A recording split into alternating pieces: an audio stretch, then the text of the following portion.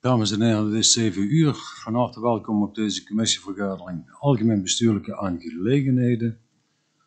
Ook de enkele aanwezigen in de zaal, maar met name de aanwezigen thuis, wat via de coronamaatregelen niet aanwezig kunnen zijn op de publieke tribune vandaag. Um, enkele mededelingen vooraf. De heer Knubbe heeft zich afgemeld, wordt vervangen door de heer Blom. En de heer Douwe heeft zich afgemeld en die had geen vervanger. Die is vanavond voorzitter. En ja, helaas. Dus de fractie AB is er niet bij in deze commissievergadering. Um, in het kader van de vergaderorde zou ik de deelnemers toch willen verzoeken om, als je aan het woord wil, dit via de voorzitter te doen. Dan is het ook in de huiskamer beter te volgen voor een ieder. En we hebben vandaag enkele externe aanwezigen. En dat is de heer Jos Laume, kazernechef van de regionale brandweer. Eh, voor agenda punt 6 een presentatie en een presentatie onder agenda punt 7 van de boer Lisa Tonen. En dan zou ik u toch willen verzoeken, de afspraak met het presidium is gemaakt als vergaderingen langer als twee uur duren, dat we dan een schorsing inlassen en bij die schorsing zou ik u ook willen verzoeken om dan toch die anderhalve meter afstand in acht te nemen. Zover de mededelingen. Dan het vaststellen van de agenda en aanmelden punten voor de rondvraag. Toch voor de volledigheid uw attentie voor agenda punt 9. Hier is een memo toegevoegd en het is met name toegeschreven op het karbietschieten en die wilden we ook in deze vergadering verder behandelen. Zo, uh, het is een onderdeel van de, de voorgelegde omgevingsvergunning, maar daar heeft hij via mail heeft hij daar uh, informatie over gekregen. Um, kan de commissie zich vinden in de nu voorgestelde agenda met toevoeging van dat agendapunt onder de bespreekpunten? Ik zie insluiting geknik. Dan hebben we nog de ingekomen rondvraag. Er zijn er twee fracties vragen ingediend, de fractie PGP en de fractie VVD. Bij de één vraag, en ook dit is in het in IBABS in het overzicht rondvragen bij desbetreffende agendapunt vermeld. Dan zitten we al aan agendapunt 3, het spreekrecht voor de burgers. Hier is geen schriftelijke inbreng van ontvangen, dus dat geeft ons direct de mogelijkheid om door te gaan naar agenda punt 4. Vaststellen van het verslag van de vergadering van 21 september 2020. Ook hier zijn geen op- of aanmerkingen over ontvangen binnen de gestelde termijn. En er wordt dan ook voorgesteld om dit verslag ongewijzigd vast te stellen. Ook hier kun je zich in vinden. Ja, dan is bij deze vastgesteld. Agenda punt 5, de actielijst. De meest geactualiseerde actielijst is in IBABS geplaatst. Zijn er vanuit de commissie nog op- of aanmerkingen naar aanleiding van die actielijst? Ik zie meneer Kleine. Meneer Kleine. Ja, voorzitter, aanwezige mensen thuis. Naar aanleiding van de actielijst, daar stond op, meld misdaad anoniem de burgemeester zou de gemeente die ermee bezig zijn schriftelijk vragen wat hun ervaringen zijn. Daarna zou hij vragen of alle gemeenten die aangesloten zijn bij het basisteam Heuveland meedoen. Graag zouden wij als VSP de laatste stand van zaken hierover willen weten. En dan nog iets van de rondvraag eh, van de vorige vergadering van de fractie van de VSP, meer handhaving in buurten waar een parkeervergunning van toepassing is. Daar staat in de actielijst de gegevens met betrekking tot de boetes zijn opgevraagd, CQ aangevuld. Onze vraag is, wanneer kunnen wij deze tegemoet zien? Dat was het. Ik kijk even naar mijn linkerzijde of de burgemeester het antwoord uh, paraat heeft. Of dat is. Ja, oké. Woorden aan de burgemeester.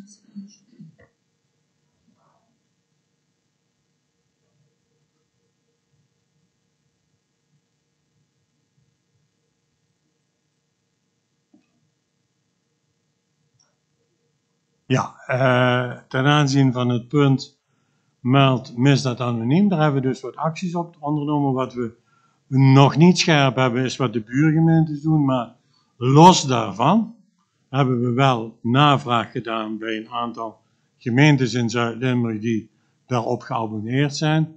En de reacties geven ons aanleiding om in elk geval daar uh, begin volgend jaar, dus over een maand of zo, mee te beginnen. Maar ik wou het wel volgens de regels wel eventjes aankaarten in de wat wij noemen robuuste driehoek van de vijf gemeenten, vijf burgemeesters, die zeg maar het basisteam Heuveland. Maar uh, alles staat op groen, om het zo te zeggen.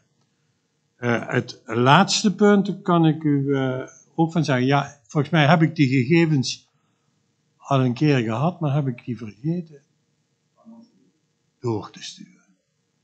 Dus wij gaan er snel achterin. Ik, uh, het gaat over parkeervergunningen. En ik zie de teamleider zitten, die heeft me daar een keer antwoord op gegeven. Dat weet ik zeker. Uh, in termen van wij kijken erop. Ik ga even na waar dat gebleven is. Ja? Maar, uh, dus op zichzelf, dan kan dat ene actiepunt er ook vanaf. Daar hebben we nu lang genoeg over gedaan. En de gemeentes die we gevraagd hebben waren Brunsum en Beekdalen en zo. Die zijn eigenlijk allemaal tevreden. En het bedrag wat je moet betalen is ook nog omlaag gegaan. En omdat wij toch zo'n zuinige gemeente zijn, vond ik dat ook nog wel een argument om dat nu en ook volmondig ja op te kunnen zeggen. Als je... Goed. Dan kan die er wel eindelijk vanaf. Maar ik bericht u daar, zodra we dat hebben getekend, laat ik u dat weten. Zie iemand, die gaat dat ook voor mij doen. Hè, ja.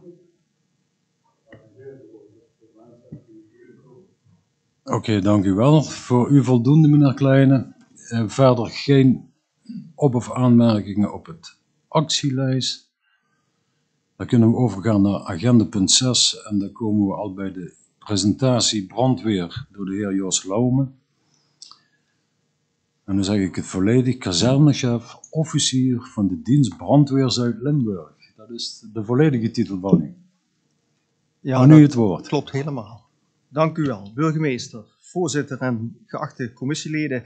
Bedankt voor de uitnodiging. Ja. Ja, ja ik doe het. Oh, okay. Ja, is goed. Volgens mij is het goed zo. Uh, bedankt voor de uitnodiging vanavond.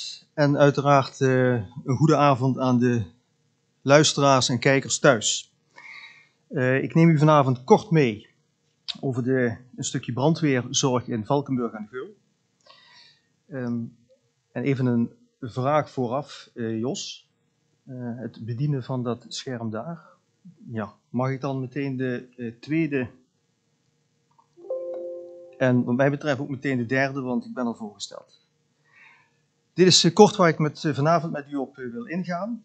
U heeft de stukken ook als het goed is thuisgestuurd gekregen, dus al volgens mij even kennis kunnen nemen ervan.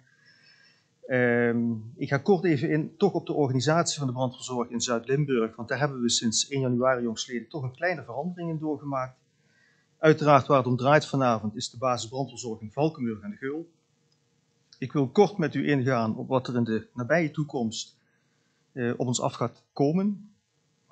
En dan is er uiteraard nog een stukje gelegenheid tot stellen van vragen. De volgende sheet, alstublieft. En dan meteen ook een vraag aan u. Want de laatste presentatie die heb ik eh, gehouden op 28 november 2018. En toen heb ik dit filmpje ook al laten zien. Wie was er van u toen niet bij en wel bij? Als u dit filmpje namelijk kent, dan sla ik het het liefste over, want dat spaart 3,5 minuut. Akkoord dat ik hem dan oversla? Dan mag het filmpje overgeslagen worden en dan gaan we naar de volgende. Als het goed is, u heeft de presentatie ook thuisgestuurd gekregen. En daar werkt dat ook. Dus als u de film toch graag zou willen terugkijken, dan kan dat altijd nog. De brandverzorging in onze eh, veiligheidsregio onze veiligheidsregio is één van de 25 veiligheidsregio's in Nederland. En daarin werkt in onze regio de 16 gemeentes werken daar samen. Om bij een rampcrisis zo effectief mogelijk samen te kunnen werken. Maar dat is natuurlijk niet alleen maar op het moment dat het fout dreigt te gaan. Dat samenwerken, dat doen we binnen de veiligheidsregio ook al aan de voorkant. En dat zal ik dadelijk even kort toelichten op de volgende sheet. GOR, brandweer, gemeentes hebben zich ook verenigd aan de voorkant waar het gaat om het voorbereiden op zo'n crisis. En dat gebeurt dadelijk in dat blauwe vakje binnen dat stukje crisisbeheersing en rampenbestrijding. Wat is er nou sinds 1 januari eh, van dit jaar veranderd?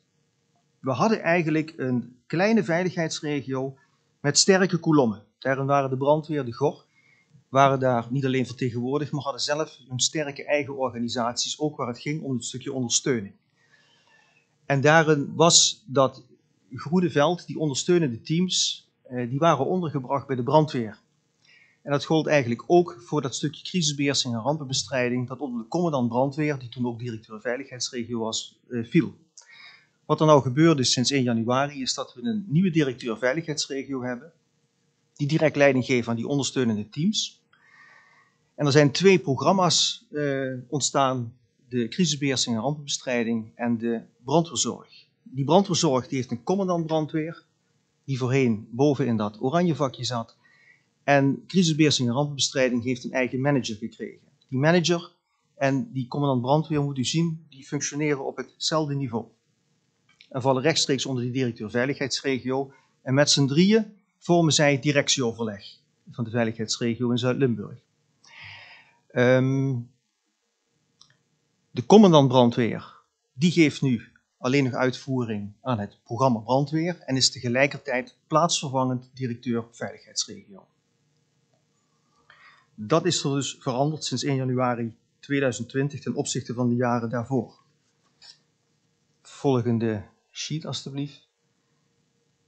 De brandweerzorg in Zuid-Limburg en met name het onderdeel incidentbestrijding, waar wij als kazerne Valkenburg en de Gul een onderdeel van uitmaken, wordt opgetuigd uit een aantal locaties in Zuid-Limburg. Totaal hebben wij er 26. En het uh, rood gemarkeerde, dat is de kazerne Valkenburg. Eigenlijk best wel centraal gelegen realiseerde ik me toen dat uh, plaatje uh, gemaakt hebben en dat cirkeltje zetten. Jos, zou je nog één keer op de knop willen duwen, dan verschijnt er wellicht nog een...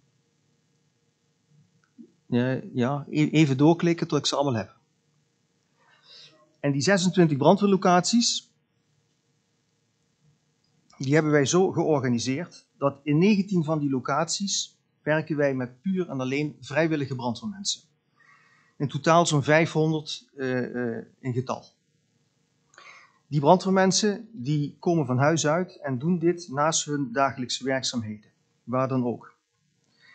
Zes locaties van de brandweer zijn 24 uur per dag bemand. En dan hebben wij nog één locatie, daar hebben wij overdag 12 uur een bemande kazerne. S'avonds en s'nachts opereren daar de vrijwilligers van thuis uit. En we hebben twee locaties, daar valt Valkenburg ook onder, waar naast de vrijwillige brandweermensen van maandag tot en met vrijdag overdag ook twee mensen permanent op de kazerne zijn om bij een alarm direct te kunnen reageren. En daarmee verlenen ze niet alleen ondersteuning aan de vrijwilligers in Valkenburg, maar doen dat ook in Hulsberg, Meersen, Margraten en Kadir en Keer. Zodat we ook in die kleine locaties altijd verzekerd zijn van een bevelvoerder die direct ter plaatse kan komen. Volgende sheet alstublieft. De kazerne in Valkenburg aan de Geul. Daar, eh, sinds mijn laatste presentatie is daar wel wat veranderd. En dat is een, eh, een hele positieve verandering geweest. We hebben op dit moment, en dat had ik toen niet op 28 november 2018, 22 vrijwilligers actief. En dat is een groei ten opzichte van de vorige keer. En dat was ook de wens die ik de vorige keer had uitgesproken dat ons zou lukken. Nou, ik kan u hier dus meedelen dat is gelukt op dit moment. En dit in een stroom naar de 26 toe. Dat is een beetje mijn ideaal cijfer, 26. Uh, waarbij ik gisteren heb gehoord dat ik een 23ste vrijwilliger binnen nu en twee weken kan gaan aannemen. En die andere drie, ik heb in ieder geval voor de ronde januari, februari, die uh, gaat starten in 2021, heb ik al drie sollicitaties binnen. Dus wat dat betreft liggen wij mooi op koers. Voor het overige in het materieel dat bezet wordt door de vrijwilligers, is verder niks veranderd. Het kleine blusvoertuig, wat ik de vorige keer ook in heb verteld, op heb verteld, Dat is nog steeds actief en het bewijst eigenlijk een aantal malen per week zijn dienst meer als voldoende. Het heeft echt effect dat we dit hebben ingebouwd een aantal jaren geleden. Voor betreffend stukje incidentbestrijding zijn we in de afgelopen periode, als ik dat terugreken, hebben wij hier in Valkenburg ongeveer zo'n 220 alarmeringen eh, op jaarbasis. 2019 is dat iets minder geweest als ik 2020 tot nu toe uh, uh, halverwege het jaar.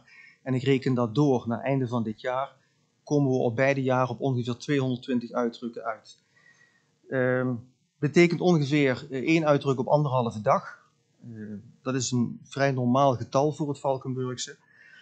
Uh, waarbij het wel zo is dat dit uitdrukken zijn voor de kazerne. Niet alleen binnen de gemeente Valkenburg aan de Geul, ga ik dadelijk iets nader op in, maar dat doen we voor de hele regio. Merendeel van de uitdrukken doen we natuurlijk hier in Valkenburg. Maar daarnaast zijn we ongeveer zo'n 30 keer per jaar rukken wij uit naar Maastricht, Heerlen, Hulsberg, Margraten, eh, overal daar waar we net eh, nodig zijn.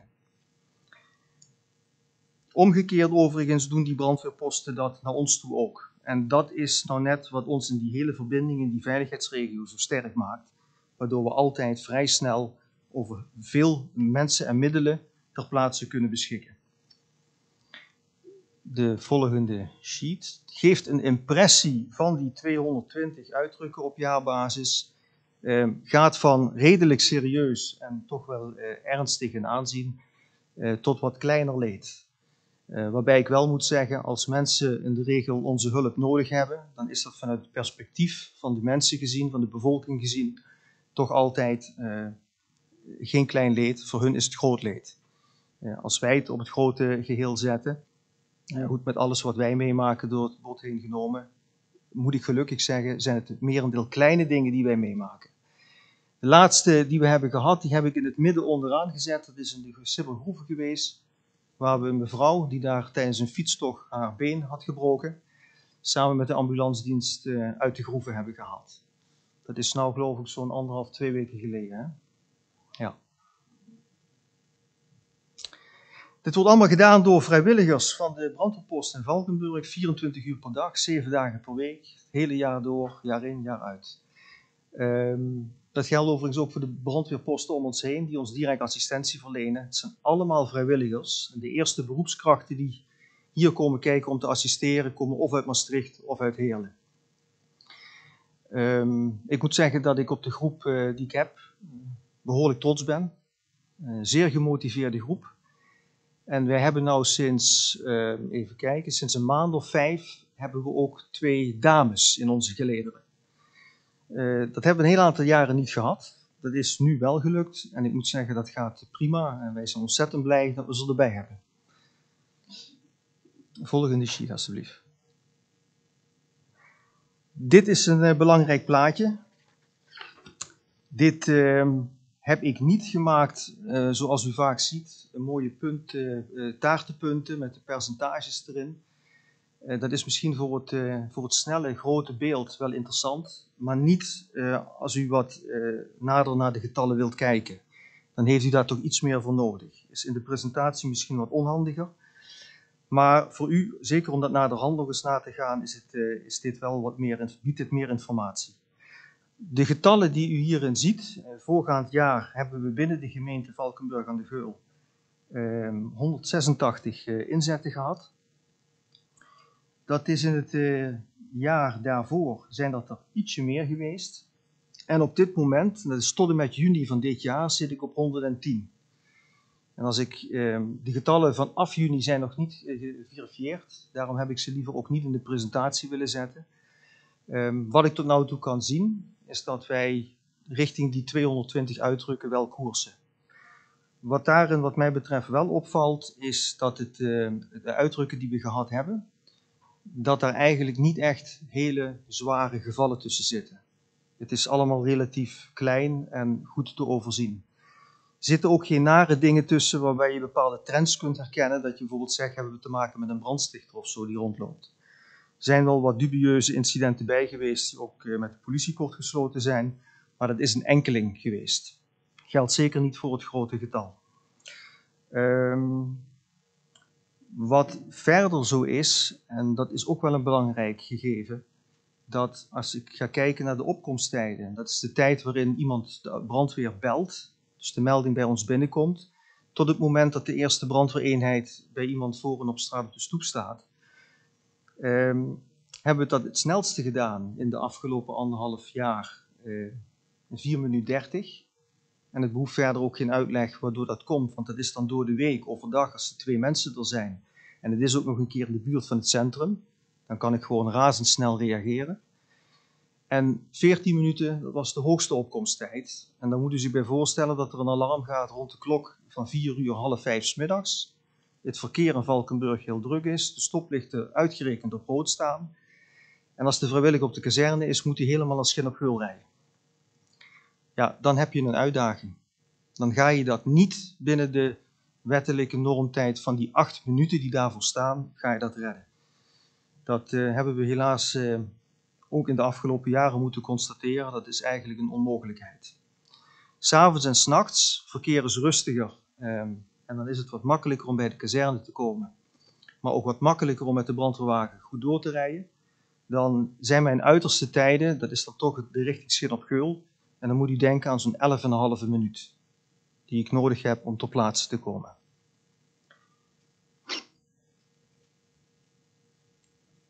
Volgende sheet, alstublieft. Wij doen natuurlijk eh, niet alleen maar incidentbestrijding en uitdrukken op het moment dat we gebeld worden. Ik heb u zojuist kort verteld over dat rood omkaderde gedeelte. Maar dat oranje omkaderde gedeelte, dat is minstens zo belangrijk. Er zijn twee of drie collega's eh, actief eh, voor de gemeente Valkenburg aan de Geul. Die deels in hun werkpakket ook werken voor een stukje advisering. Onder andere richting Ronald Linkens.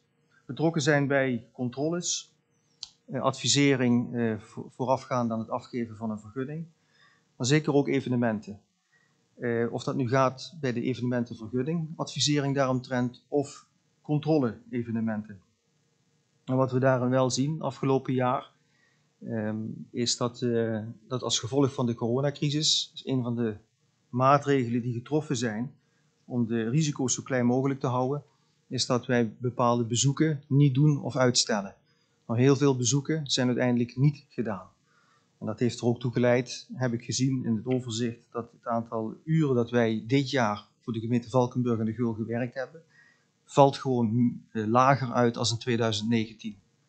Daar doen we een klein stukje wel weer ander werk voor. Maar grosso modo betekent dat onder de streep dat wij minder actief zijn geweest voor de gemeente Valkenburg.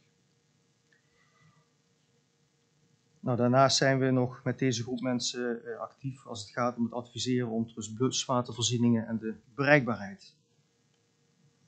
Volgende sheet. En ook die is wel weer belangrijk te noemen.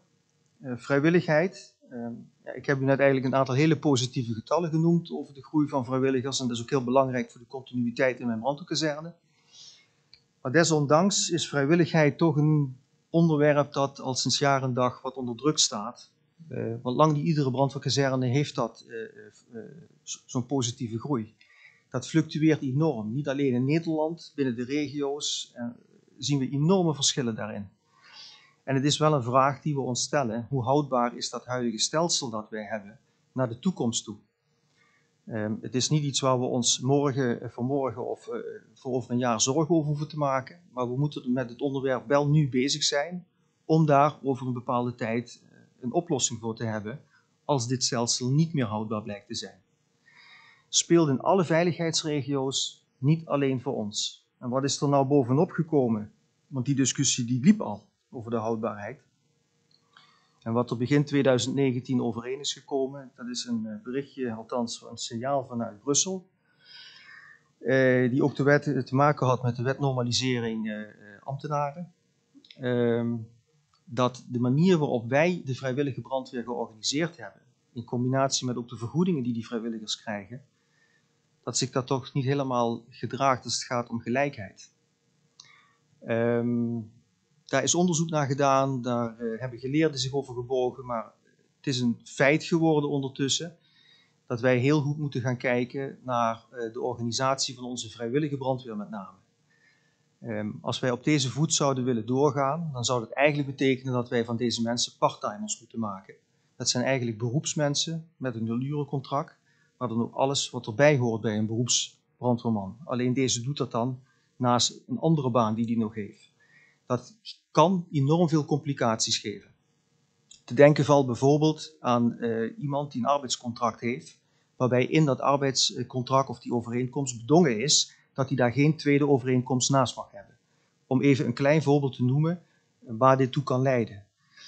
Um, ik heb vorige week donderdag een uh, meeting bijgewoond waarin deze taakdifferentiatie aan de orde kwam. Uh, nou, wat ik daarover kwijt kan is, men is daar nog lang niet over uit.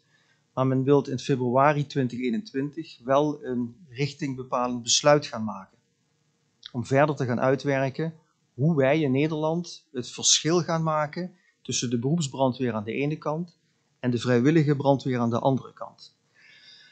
Um, en dan is nog de modus denkbaar dat als we die verschillen gaan maken, eh, dat het zomaar zou kunnen zijn dat we toch een aantal van die vrijwilligers nodig hebben om meer dingen te doen die ze eigenlijk niet mogen doen. En dan zou je van die categorie een parttimer kunnen maken, als dat natuurlijk past binnen de mogelijkheden die hij of zij zelf ook heeft.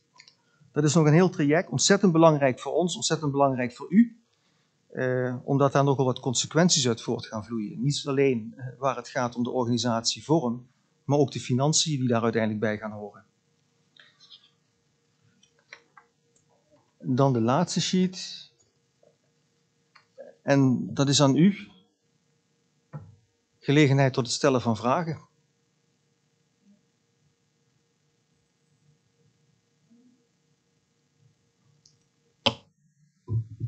Ja, dankjewel voor de presentatie. Duidelijk klinkt inderdaad uh, hoopvol dat het uh, nou beter in elkaar steekt, meer vrijwilligers en noem maar op.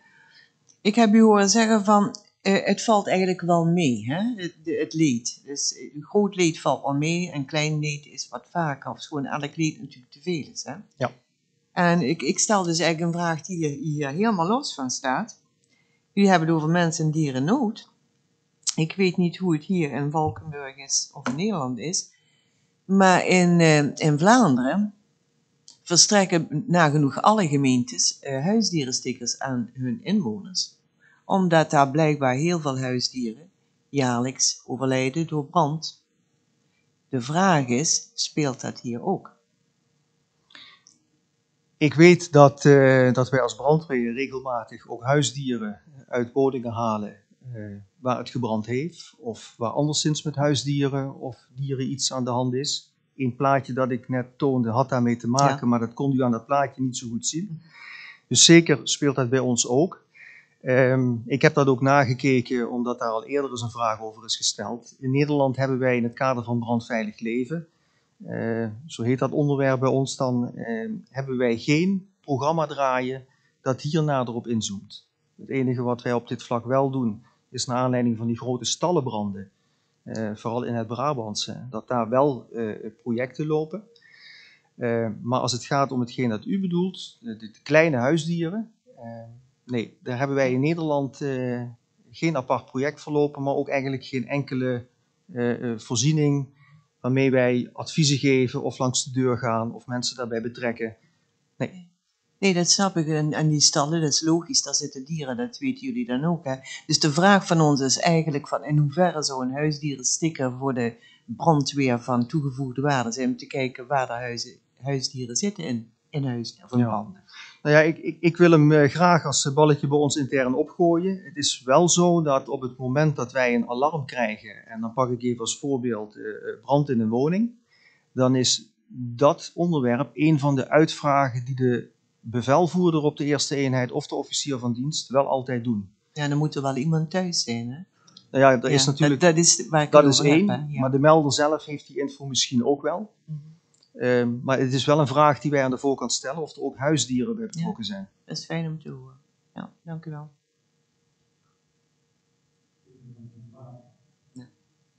Ik zit er wel even goed. Ah, ja. Die vraag. Uh, is ook bij de begroting gesteld. En toen hebben we gezegd, wij zullen dat meenemen, dat eerstvolgende overleg met de brandweer. Dus de vraag van, zou het zinvol zijn als mensen een sticker op de deur plakken van hier zit een huisdier. Ja, Ja. Dat is eigenlijk. Of Ja. meerdere huisdieren. Volgens mij staat het volgende overleg 11 december gepland, dacht ik, burgemeester. Precies. Dus ik probeer, voor, ik, het, eh, ja, ik probeer het antwoord eh, al mee te nemen dan. Prima kant uit. Mevrouw Roding. Dank u wel. Ik heb geen enkele vraag. Ik wil jullie heel erg bedanken voor deze presentatie. Duidelijk, zoals ieder jaar. En ik wil ook van de gelegenheid gebruik maken om u en uw team te bedanken voor de inzet de afgelopen jaren. Dank u wel. Dank u wel, meneer Kleine. Ik sluit me aan bij mevrouw Roding wat dat betreft. Maar ik wil wel iets. Ik had een aantal vragen voor u opstammen. De meeste zijn beantwoord over, onder andere over de uitreiktijden. Dat soms je dat niet haalt binnen de, binnen de gestelde tijd, maar u hebt dat uitgelegd. Een andere belangrijke vraag wat u voor mij beantwoord hebt, is het aantal vrijwilligers. Alhoewel, eh, dat kan eh, fluctueren. Ja. Ehm, en eh, ook met betrekking tot, eh, tot de taakdifferentiatie in de toekomst, dat je min of meer van beroepsmensen moet kunnen uitgaan, dat dat nogal wat, wat gevolgen kan hebben, is mijn vraag aan u. Wat zou de gemeente daarvoor een rol in kunnen spelen om u daar zeg maar, in bij te staan, zeker te ondersteunen? Ik, ja, op dit moment eh, eh, niet. Eh, zoals dat binnen het Veiligheidsberaad op dit moment aandacht heeft en weggezet is. De projectgroepen die daar aan de zijkant weer een rol invullen. Helemaal vernet binnen het land. Wordt daar op dit moment echt al maximaal eh, op ingestoken. En het is echt even afwachten tot, eh, tot februari van het komend jaar. Ehm, dan weten we met z'n allen denk ik iets meer waar we aan toe zijn en wat de volgende stappen gaan worden en welke hulp we dan daarbij kunnen gebruiken. Maar daar zitten op dit moment eh, hele knappe koppen zitten daar bovenop.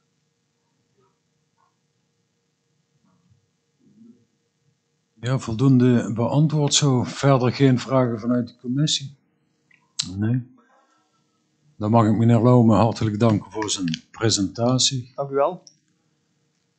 Bedankt en ik mag u uitnodigen de hele avond te blijven, maar eh, als u dat niet wenst, dan in ieder geval goed thuis. Ja? Dan komen we aan agendapunt 7 en dat is al de presentatie spreekuren BOA's en dat zou een presentatie zijn van mevrouw Lisa Tonen. Aan u het woord.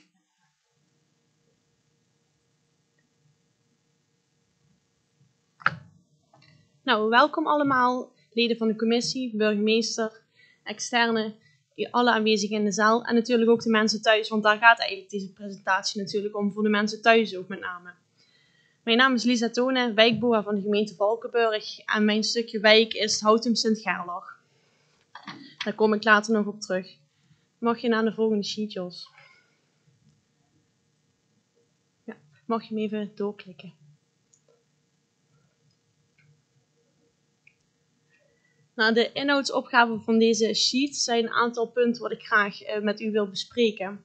Zoals de indeling van de wijkboa's, de wijkagenten, taken van de wijkboa, netwerkpartners, het vergroten van onze bereikbaarheid, welke meldingen zijn er nou binnengekomen en het, eh, tot slot de borging. Mag je naar de volgende sheet, Jos. Nou, de indelingen van de wijken binnen de gemeente Valkenburg aan de Geul. Eh, we, hebben deze, we hebben de gemeente Valkenburg aan de Geul ingedeeld in vier wijken. Eh, wijk 1 is Valkenburg. U kunt lezen in het Valkenburg Centrum hoort daarbij Emmerberg, de Hekerbeek en Walem. In, de- in deze wijk eh, zijn Christen Waard en Roy Kostons de wijkboa en het aanspreekpunt van deze wijk. Ze hebben als taak accent horeca en evenementen. Daar kom ik later nog even op terug. Wijk 2, Houtum Sint-Gerlach. Ehm, ik ben daar samen met mijn collega Tim van Geloven en ik dan het aanspreekpunt voor voor de bewoners. Wijk 3, Bergen ter Blijt. Eh, en de omliggende kernen, dat is Roger Lejeune. En hij heeft twee assistentes en dat zijn Niki Sloeser en Anne Schmid. En wijk 4, Schin op Geul. Daar zijn Jens Jonge en Rick Rambukers eh, verantwoordelijk voor. In 2018 zijn we begonnen eigenlijk met het wijkwerken binnen de gemeente Valkenburg aan de Geul. Ehm, daar is op geïnvesteerd. Eh, er zijn ook nieuwe mensen aangenomen. Een stukje professionaliteit is daaraan toegevoegd. Vroeger sprak je eigenlijk over stadswachten. En dat woord wil ik zo ver mogelijk helemaal hier beneden in de grond stoppen, want dat doet ons totaal geen eer meer toe. Uh, we hebben de naam BOA buitengewoon opsprongsambtenaren in het leven geroepen binnen de wet. Hiervoor heb ik bijvoorbeeld een MBO 3-opleiding gevolgd uh, binnen het Arcs College. Daar heb ik drie jaar lang op school gezeten om uiteindelijk uh, BOA te kunnen worden. Zo is ook dat stukje professionaliteit erin teruggekomen. Ook het aantal cursussen wat we erbij zijn gaan doen is ook heel uitgebreid. Dus denk daarbij aan horeca en evenementen, ondermijning, sociale problematieken, zo noem maar op. Dat maakt ons stuk een stuk uitdagender en we kunnen ook breder inzetten op de behoeften van de burger. Mag je naar de volgende sheet, Jos?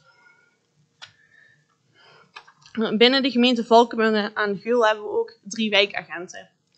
Dave Dumoulin, Ilona Tol en Dave Huinen daar zijn we natuurlijk hartstikke blij mee dat we eindelijk drie vaste aanspreekpunten hebben binnen de gemeente Valkenburg aan Geul voor het politiegedeelte. Daar ga ik vandaag eigenlijk niet op in, omdat het echt puur gericht is op de BOA. Maar ik vind dat ik ze wel even erbij moet noemen, omdat het natuurlijk een hele belangrijke netwerkpartner van ons is. Samen met de wijkagenten en met de BOA's werken we aan een leefbare en een veilige wijk voor de burgers van de gemeente Valkenburg aan de Geul. Daar kom ik dadelijk nog op terug. mag je naar de volgende sheet, Jos. De taken van de wijkboa. Het zijn er heel veel. Ik kan ze niet allemaal beschrijven, maar ik heb wel de belangrijkste eruit gehaald. En ik zal hier een toelichting bij geven. Het, eigenlijk de belangrijkste taak van de wijkboa is het gastheerschap. Het gastheerschap naar, je naar de burger toe, naar de bewoner in jouw wijk. Stel je productief op, ga met de mensen in gesprek. Dat is het belangrijkste wat ik vind voor een wijkboa dat je dicht bij je mensen staat, dat we van buiten naar binnen gaan werken. We kunnen het hier binnen allemaal wel zo mooi bedenken wat iedereen zou willen. Maar het belangrijkste is om met die mensen in gesprek te gaan. Maar wat willen hun nou? Wat vinden hun belangrijk? En vanuit daar komen we binnen bij de organisatie en dan gaan wij kijken wat als team veiligheid, toezicht en handhaving, waar de BOA's onder vallen, wat kunnen we daar nou aan gaan doen? Aanspreekpunt en signaleren. We hebben er sinds 2018 eh, goed op ingezet om een duidelijk aanspreekpunt te worden voor de bewoner. Uh, denk hierbij aan social media, aan huis-aan-huisbladen. Van wie is nou uw wijkboa? Hoe kunt u ons benaderen? Hoe, hoe kunt u ons bereiken? Als ik door de wijk fiets, is het gewoon van belang dat iedereen weet: oh, daar gaat Lisa. Aan Lisa kan ik mijn vraag stellen of kan ik gewoon even een praatje pot mee maken. Zo hoor ik wat er speelt en zo is voor iedereen duidelijk dat ik een wijkboa ben. Maar signaleren is ook een belangrijke taak. Ergens vroegtijdig bij zijn. Dus het is van belang dat de burger met mij in gesprek komt, maar het is ook van belang dat ik iets vroegtijdig signaleer. Is er bij iemand behoefte voor hulp? Zit er iemand vaak alleen thuis? Zie ik bijvoorbeeld een woning wat is onderkomen? Wat speelt achter die voordeur? Dus het is heel belangrijk dat we ook weten wat achter de voordeur speelt ondermijning ziet u staan. Het is natuurlijk ook belangrijk dat we dat soort dingen eerder gaan signaleren, dat we er eerder op kunnen investeren met onze netwerkpartners, zodat we juist ook voor die veilige en leefbare wijk kunnen gaan.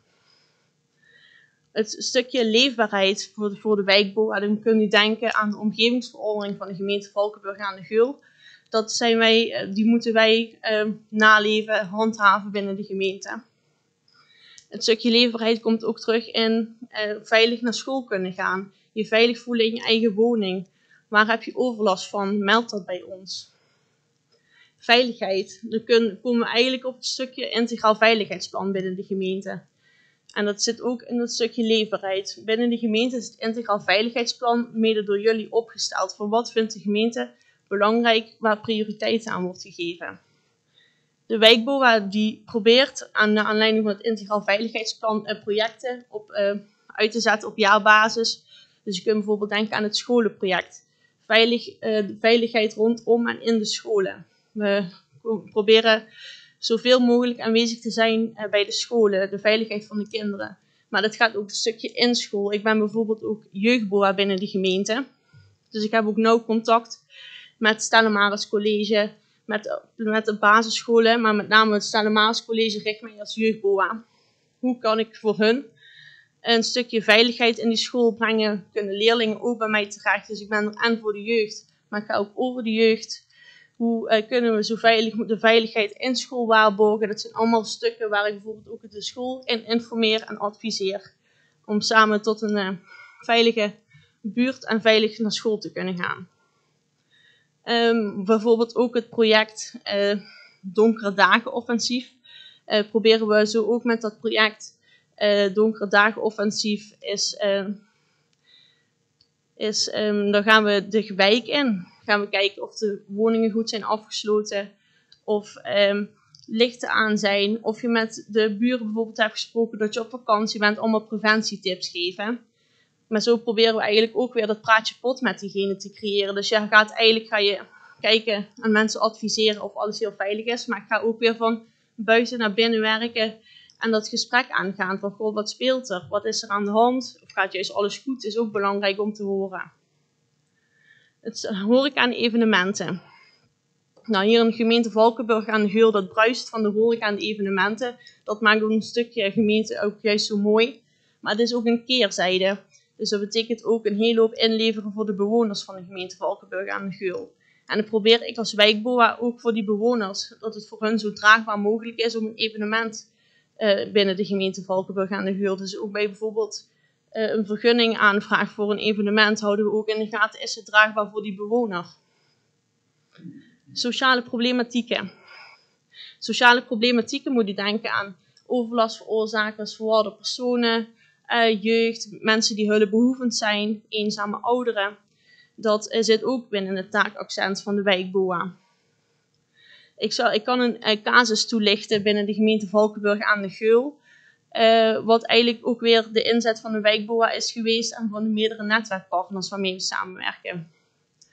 Vorig jaar is er een gaslekkage geweest binnen de gemeente Valkenburg aan de Geul. De brandweer wilde graag naar binnen bij die woning. De bewoner wilde geen toegang verschaffen tot de woning. Kwam een beetje vaag over. Ja, als brandweer zijn, dan loop je er tegenaan, ik kan niet binnen. Diegene wil totaal niet meewerken. Wat is hier aan de hand? De brandweer heeft dit gedeeld met de wijkboa binnen de gemeente Valkenburg aan de Geul.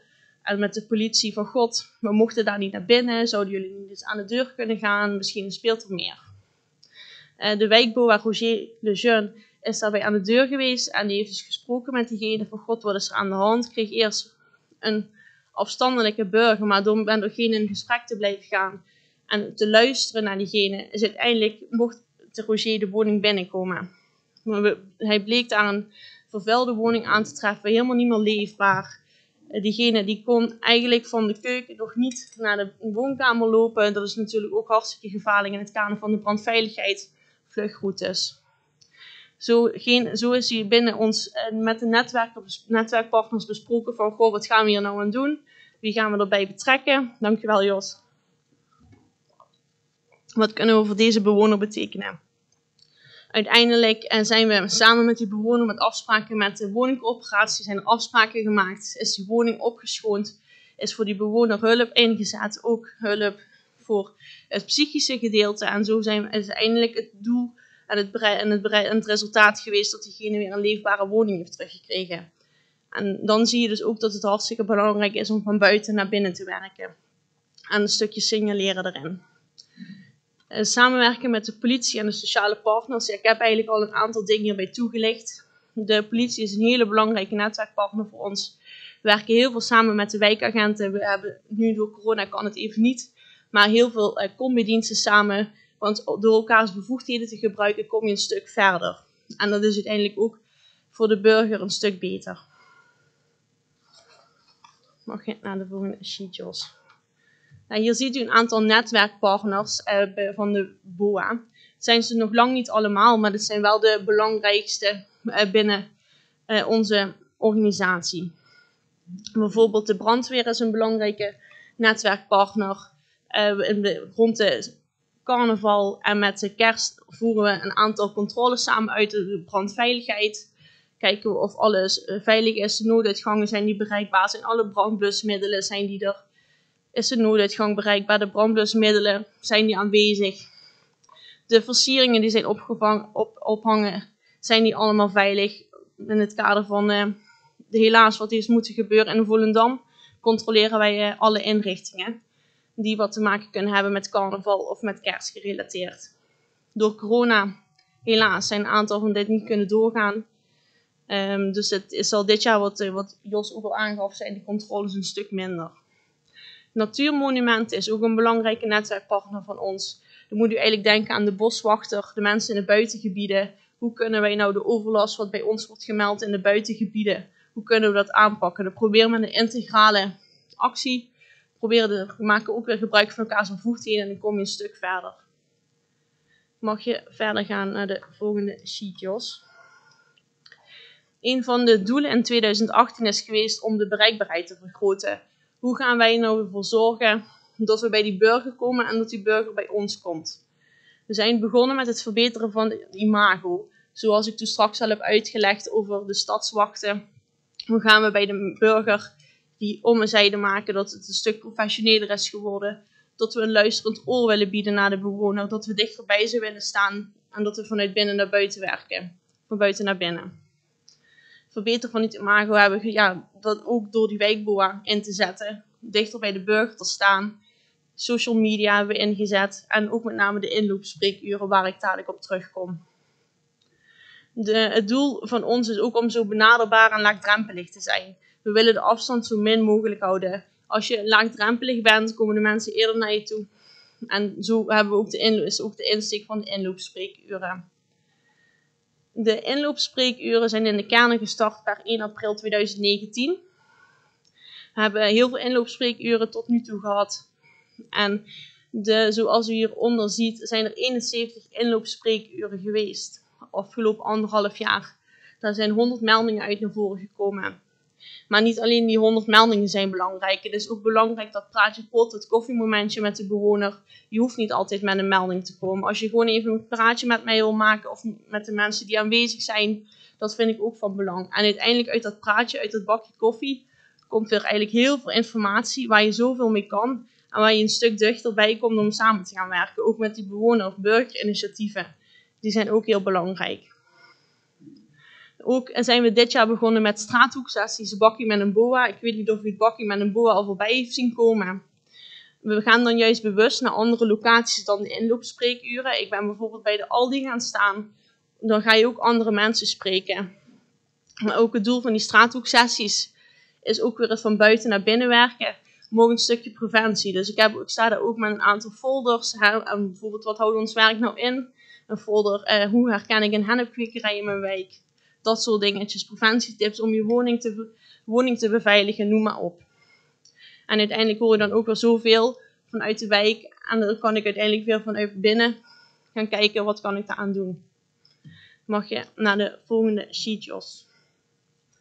Ik heb een overzichtje gemaakt eh, van de meldingen het afgelopen inloopspreekuren. Per kern van wat was nou de top 5, wat het meeste qua meldingen is binnengekomen. Qua inloopspreekuren wil ik er nog bij vermelden dat door corona de nieuwe maatregelen tot een aantal inloopspreekuren die door zijn kunnen gaan. Wat natuurlijk hartstikke begrijpelijk is, want we willen natuurlijk het, virus eh, de kop induwen. Uh, ik ga ze niet allemaal toelichten, maar ik zal een aantal punten uit de meldingen top 5 uh, toelichten, het proces erachter, uh, hoe gaan wij met zo'n melding om en wat is uiteindelijk de afhandeling. Nou, zoals u kunt zien is er een speciale aandacht voor eventuele burenruzies. In de gemeente Valkenburg aan de Geul zijn een aantal burenruzies. Maar dan is het ook belangrijk van God, ga aan de voorkant eens kijken wat er aan de hand is. Heel vaak komt iemand bij je melden van een uh, heg wat overkomt. En uiteindelijk blijkt het dan die burenruzie te zijn, wat dan eigenlijk het grootste rol erin speelt dan die haag. En dat is dan heel belangrijk om ze dan ook in contact te brengen met de juiste mensen die daar over zo'n burenruzie gaan. Het doorverwijzen en het informeren is heel belangrijk. Uh, bijvoorbeeld naar het juridisch loket. Vaak is het al is het voor de gemeente, als er iets civielrechtelijk is, kan ik als gemeente kan ik er niks mee. Maar dan vind ik het wel belangrijk dat ik die burger wat bij mij dat is komen melden om hem juist door te verwijzen. U wilt dat vragen? Ja, ik hoor u zeggen doorverwijzen naar het juridisch loket, maar een stapje eerder is natuurlijk de buurtbemiddeling. Ja, de buurtbemiddeling eh, die hebben we ook binnen de gemeente. Ik moet wel zeggen dat het op een laag pitje is gekomen. De andere jaren was er buurtbemiddeling. Dit jaar is ervoor gekozen om geen buurtbemiddeling meer toe te passen. Dus als iets aan een beginstadium is, dan wil ik daar uh, willen kijken wat we kunnen doen. Maar ik merk eigenlijk alle burenruzies wat binnenkomen, dat speelt al 14 jaar. En dan ga ik het als wijkboa eigenlijk niet meer oplossen. En dat is eigenlijk heel jammer. Maar dat is ook, dat is ook een antwoord wat je de burger moet geven. Ehm, bijvoorbeeld, u ziet snelheid staan, uh, overlast dat ergens te hard wordt gereden. Dan wil ik vooropstellen dat wij als BOA's niet bevoegd zijn om snelheidscontroles uit te voeren. Maar het is wel belangrijk om te schakelen met mijn netwerkpartner. Van welke netwerkpartner kan het met deze melding? Dus dan schakel ik met de wijkagent, leggen we de hotspots naast elkaar. En dan gaan we een, dag of een middagdeel waar de behoefte is voor die melding, kunnen we snelheidscontroles uitvoeren. We kunnen, we kunnen verkeerscontroles samen uitvoeren om zo te kijken om van elkaars bevoegdheden gebruik te maken. Dus ook bijvoorbeeld bij die burenruzie heb ik wel natuurlijk mijn netwerkpartners achter me staan. Die wellicht wel die drempel, die voet achter de deur nog kunnen zetten. Het verkeerd aanbieden van afval, eh, dat komt eigenlijk best wel vaak voor eh, op nummer 1 zoals u ziet. Dat is een uh, doorn in het oog bij de meeste mensen in Valkenburg aan de Geul. Um, als wij die melding binnenkrijgen, we hebben ook een projectleider afval uh, binnen de gemeente aan Geul. Die heeft een plan opgesteld hoe die het afval zo min mogelijk wil terugdringen, dat de overlast ervan is. Het is natuurlijk wel iets wat je nooit volledig opgelost krijgt. Uh, maar bijvoorbeeld uh, folders uitdelen van wat mag nou wel um, bij het afval, wat moet naar een milieuperron, hoe moet je scheiden, wanneer mag je iets van tevoren aanbieden. Dus wel uh, met brieven informeren als we bijvoorbeeld in een straat zien dat er heel vaak vroegtijdig iets wordt aangeboden wat niet mag. Dan kun je iedere keer wel makkelijk die zakken ophalen gaan zoeken of je adresgegevens vindt. Maar het is belangrijk om aan de voorkant de mensen juist te informeren van wat wel en wat niet mag. Dan mag je naar de volgende sheet, eh, Jos. Wat natuurlijk ook belangrijk is, is de borging, de opvolging van de meldingen. Wij werken buiten, we zijn heel veel buiten, maar binnen, vooraf aan die melding, gebeurt ook heel veel. Zo is in 2018 ook uh, de rol, de functie procesondersteuner binnen team Veiligheid, Toezicht en Handhaving toegevoegd. De procesondersteuner is eigenlijk de filter van de hele afdeling Veiligheid, Toezicht en Handhaving. Hier komen alle meldingen binnen, zowel van externe, van de burger, van uh, intern, noem maar op. De procesondersteuner filtert al die meldingen en die zet hem uit bij de juiste personen. Wat nou het fijne is van die procesondersteuner voor mij buiten. Hij zei zorgt dat mijn melding klaar staat. Heeft al voorwerk voor mij uitgezocht. Van bijvoorbeeld, ik heb een afvalmelding meegekregen. Van uh, dat er ergens plastic zakken niet zijn opgehaald. Nou, woensdag is bijvoorbeeld de ophaaldag. Ze staan er al maandag. Dat zijn allemaal informatie wat zij al voor mij opzoekt. Daarna is het ook uh, van belang dat deze functie er is. Want het is eigenlijk de regie op de afhandeling richting de burger. De burger krijgt bij ons altijd antwoord. En zij houdt, of hij houdt ook in de gaten de normtijd van de meldingen. Zet prioritering uit. Maakt briefings, dat dat bij de BOA's bekend is, dat het op meerdere locaties, meerdere tijdstippen wordt meegenomen. De teamleider Veiligheid, Toezicht en Handhaving, adviseur OOV, procesondersteuner DACO.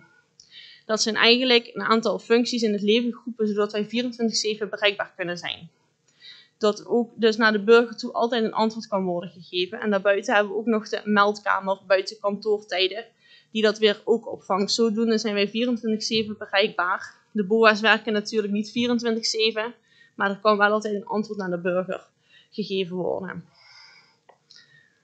Mag je naar de volgende sheet?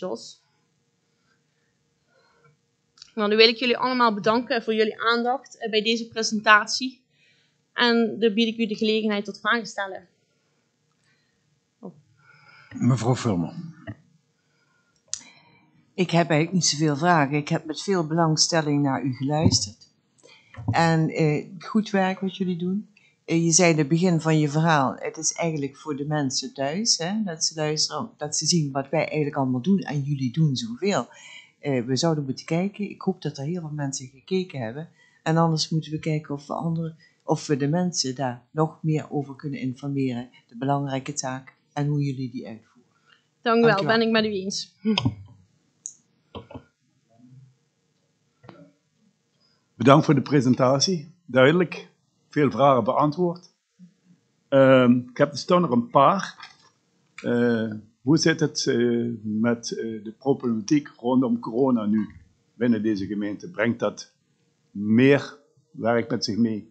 Zie je dat mensen vaak een kort, korter loontje krijgen als je ze ergens op aanspreekt. Hoe, hoe eh, verloopt dat hier binnen Mhm. deze gemeente? Eh, dan... ehm, Zal ik die ja. vraag wel toelichten? Ja, ja. Nou, natuurlijk brengt het meer werk met zich mee. Ja, er is een nieuwe wet bijgekomen. Er zijn nieuwe wetten die we moeten naleven. Dus uiteraard brengt het meer werk met zich mee dan voor corona. Eh, we zijn op redelijke kracht binnen het team. Eh, voor de gemeente Valkenburg aan de Geul. Eh, we hebben iedere avond hebben we, we hebben iedere dag mensen in de dagdienst en iedere dag mensen in de middagdienst. Dus ze zijn van half negen tot tien uur altijd inzetbaar. Ehm, dus wat dat betreft hebben we wel meer te na te leven. Maar hoe het nu is, eh, kunnen we aan de burger zo voldoende mogelijk de aandacht bieden als voorheen corona. Maar we hebben ook het coronapakket. En we zijn natuurlijk niet de enige. De politie leeft natuurlijk ook na. Alleen ligt de regie wel meer bij de gemeente in sommige stukken. Ja, de agressie. Ik vind het binnen de gemeente Valkenburg nog reuze meevallen. De, ik zie ook het welwillendheid van de burger hier in de gemeente Valkenburg. Tuurlijk heb je altijd wat mensen ertussen die wat moeite ermee hebben. Eh, ja, dat zij zo. Dat kan je nooit tackelen. Maar over het algemeen gaat het hier in de gemeente Valkenburg eh, prima. En dat zien we eigenlijk ook wel terug in de controles die we uitvoeren. Uw volgende vraag. Ja, eh, de volgende vraag is, eh, je hebt een heel verhaal gehouden, maar loopt die nog ergens tegen knelpunten aan? Wat eh, verbetering zou behoeven binnen deze gemeente, ook vanuit de gemeente? Mhm. Nou, k- knelpunten waar ik tegenaan liep was eigenlijk in begin 2018. En toen hadden we nog niet zoveel mensen binnen, de, binnen team handhaving. En we zijn eigenlijk van, ik denk vijf mensen, zitten we nu op tien mensen. Dus dat was eerst een knelpunt waar we tegenaan liepen om alles na te leven en te controleren en er voor de burger te zijn. Dus dat knelpunt is in zekere zin opgelost. Met eh, evenementen zijn we vaak nog te weinig, maar omdat we een, samen, omdat we een overeenkomst hebben met andere riekgemeentes, kunnen we ook mensen, bijvoorbeeld de gemeente Maastricht, bijvoorbeeld met evenementen of als we het niet redden qua planning, is allemaal mogelijk en ook vice versa.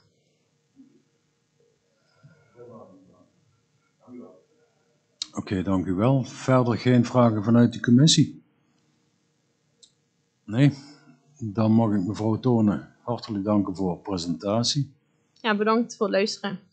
En gehoord de presentatie, denk ik dat u er niet meer langskomt volgend jaar ook weer een presentatie te houden. Nou, daar Geen sta ik, haast. eh, sta ik voor open. Ging hartstikke goed, dus eh dank je wel.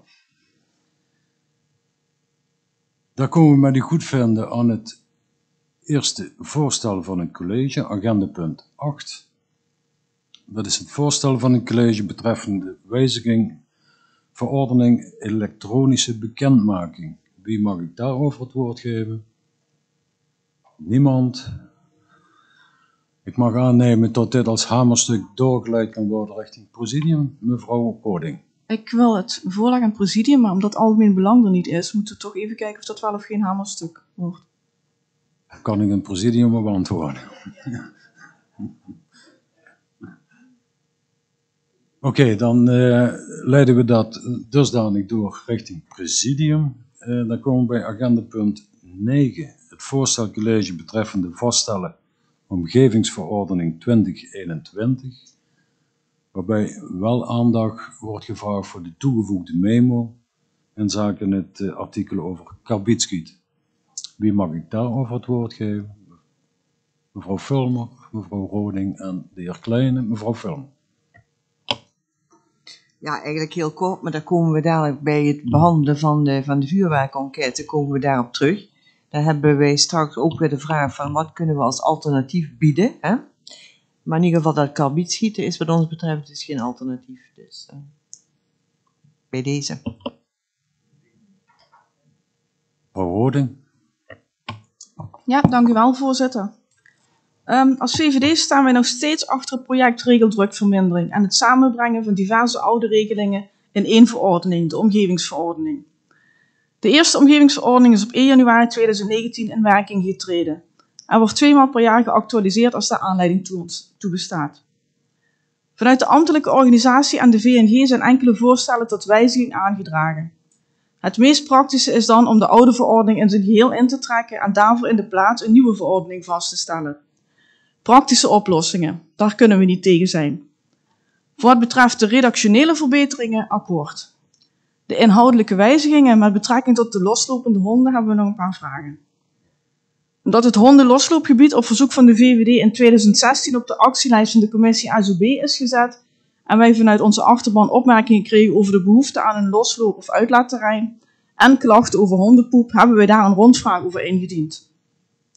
Mede onder, verwijzing naar het voorstel dat vandaag voor ligt, met betrekking tot de aanlijnplicht van honden binnen onze hele gemeente en dit te wijzigen naar een aanlijnplicht binnen de bebouwde kom. Op verzoek van de wethouder is onze rondvraag verplaatst naar vandaag. Aangegeven wordt dat door met name hondenliefhebbers de aanlijnplicht binnen de gemeente als zeer ongewenst wordt ervaren. Mede ook omdat binnen onze gemeente geen voorzieningen zijn waar honden kunnen ravotten. En dat daarom nu de aanlijnplicht wordt beperkt tot het bebouwde kom. Onze vragen.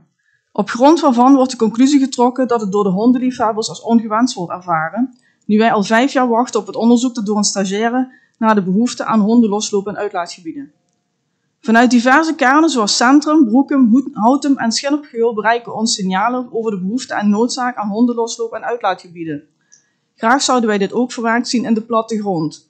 Die bijlage 1 hebben wij overigens niet aangetroffen bij de stukken voor deze commissie, maar dat kan in mij. Graag uitleg over het in artikel 298 opgenomen woordverblijven. Dit zou dan met uitzondering van het privéterrein van de hondenbezitter moeten zijn, of een dergelijke uitleg. Over de andere voorstellen hebben wij nu nog geen vragen. Tot zover in eerste termijn. Dank u wel. Dank u wel, meneer Klein. Ja, nu we het toch over wijzigingen hebben in de omgevingsvergunning, eh, willen we op een aantal punten ingaan die eh, in deze eh, omgevingsvergunning nu sta- eh, staan opgenomen. Dan wil ik gaan naar bladzijde 19, eh, wegsleepregeling paragraaf 2.8. We willen hier wat meer informatie over hebben. Zover we weten hebben wij als gemeente geen eigen afsleepregeling. We hebben het daar ook eh, tijdens de begrotingsvergadering over gehad als VSP. En eh, waarom, een vraag is dus, waarom kunnen wij dit niet overwegen in samenspraak met de omliggende gemeentes? Dan bladzijde 20, artikel 2, 9.2, plakken en kl- kladden onder 3.b. We willen toch verzoeken het woordje krijt te schrappen. Straatkrijt is populair, zowel bij kinderen als bij, maar ook bij volwassenen. Het gaat hier heel vaak om het uiten van kunst, heeft de burgemeester ook al eens gezegd kan geen kwaad, want een regenbui verdwijnt het, want na een regenbui verdwijnt het als sneeuw voor de zon. Dan eh, bladzijde 24, artikel 2, 10.3, gebruik van consumentenvuurwerk. Eh, onze vraag is, kunnen wij deze omgevingsvergunning nu zomaar vaststellen? Krabiet, dat is aangepast, dat klopt, dus dat, dat is al verboden. Eh, ook tijdens de, de jaarwisseling hier in deze gemeente, als ik het goed gelezen heb in de aanvulling wat we gekregen hebben. Maar eh, het vuurwerk niet. Moet dit niet in een later stadium aangepast worden? Dit ook in verband, want we hebben het over de omgevingsvergunning van 2021. Dit ook in verband met agenda punt 10a, wat we zodanig nog krijgen. Bespreek resultaten vuurwerk, enquête met betrekking tot de uitkomsten hiervan en de veranderingen in de landelijke wet en regelgeving. Dan eh, ben ik een beetje, zijn we een beetje verbaasd als we op bladzijde, eh, bladzijde 25 artikel 2 11.1 drugshandel en gebruik op straat lezen. In de onderhavige artikelen staat, on- eh, staat onder andere omschreven dat het dealen, gebruik van drugs in de openbare ruimte verboden is. Dus staat het daar. Kan er ook niets aan doen. Hier is echt sprake van een papieren tijger, vinden wij. Het dealen en het gebruik van drugs in de openbare ruimte. En op straat kom je in de gemeente Valkenburg aan de Geul regelmatig en op diverse plaatsen tegen. Tot zover in eerste termijn. Dank u wel. Ik kijk naar mijn linkerzijde. Burgemeester, bent u zover? Ja, het worden ze nu.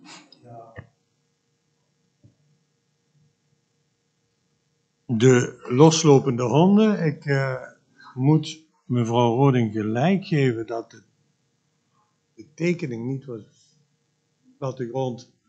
Eigenlijk, wat hebben we gedaan? We hebben op verzoek van een aantal mensen in de vorige formulering van de omgevingsverordening was loslopende honden waren überhaupt niet toegestaan, zou je kunnen zeggen. We hebben dat dus, in feite hebben het gebied voor de hond verruimd, doordat we zeggen in de bebouwde kom. wat scherper. En dat hebben we in tekeningen aangegeven, omdat je ook nog natuurgebieden hebt. Waar dan weer een bord staat vergeven, verboden uw hond los. En dat heeft te maken met andere beesten die er zijn, eh, dan wel koeien, weet ik wat. Dus in die zin hebben we verruimd.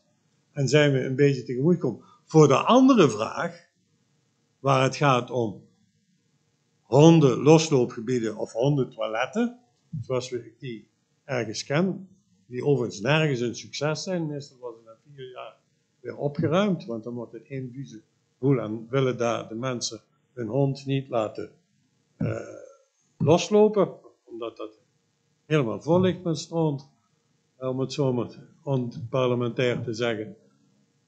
Nee, ja, het is een kwestie van opruimen natuurlijk, maar als het niet gebeurt, dan... Eh, eh, Meneer Kleine. dan moet je toch even eh, eh, toch een beetje eh, aanspreken, want eh, als ik bij ons in de hondenuitlaatgebied in de Hekerbeek, als ik dat bekijk, dat wordt regelmatig schoongemaakt. En ik moet zeggen, er wordt ook heel veel gebruik van gemaakt. Ja, maar het kan zijn omdat ik zelf geen hond heb, eh, dat ik dat zo zeg.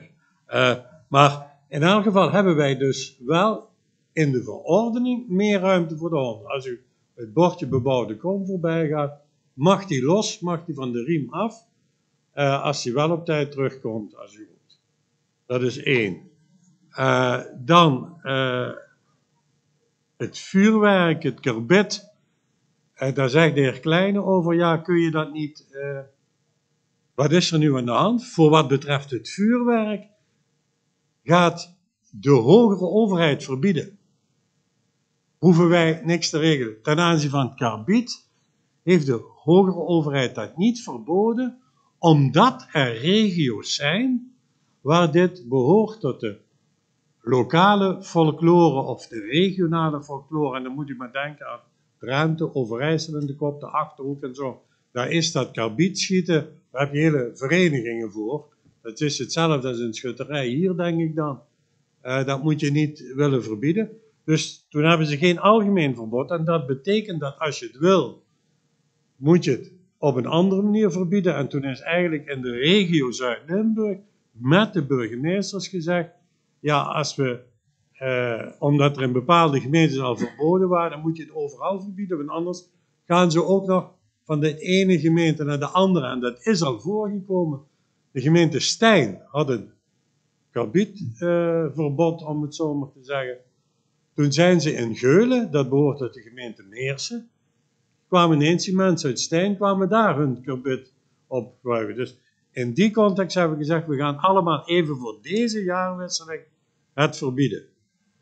En dat betekent dat wij in onze verordening het nu verbieden. En als we vinden dat het volgend jaar weer vrij moet, dan moet je hem weer een keer terugzetten. Of niet. Hier heb ik er eigenlijk op zichzelf nooit een probleem mee gehad of gezien. Dat zeggen ze, hier zit geen traditie van karbit schieten. Eh, maar ik kom niet overal.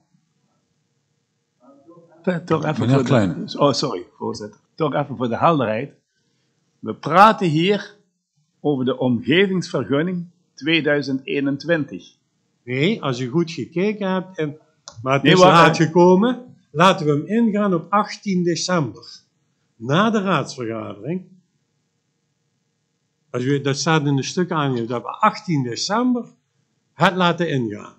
Maar dan geldt die voor tot en met het volgend jaar. Of eh, Ja, ja. tot en met het volgend jaar. Tot en, met, we- tot en met de jaarwisseling. ja, dus de eerste jaarwisseling in elk geval. En willen we hem dan terugdraaien, kunnen we dat doen. Of we kunnen besluiten om hem niet terug te draaien.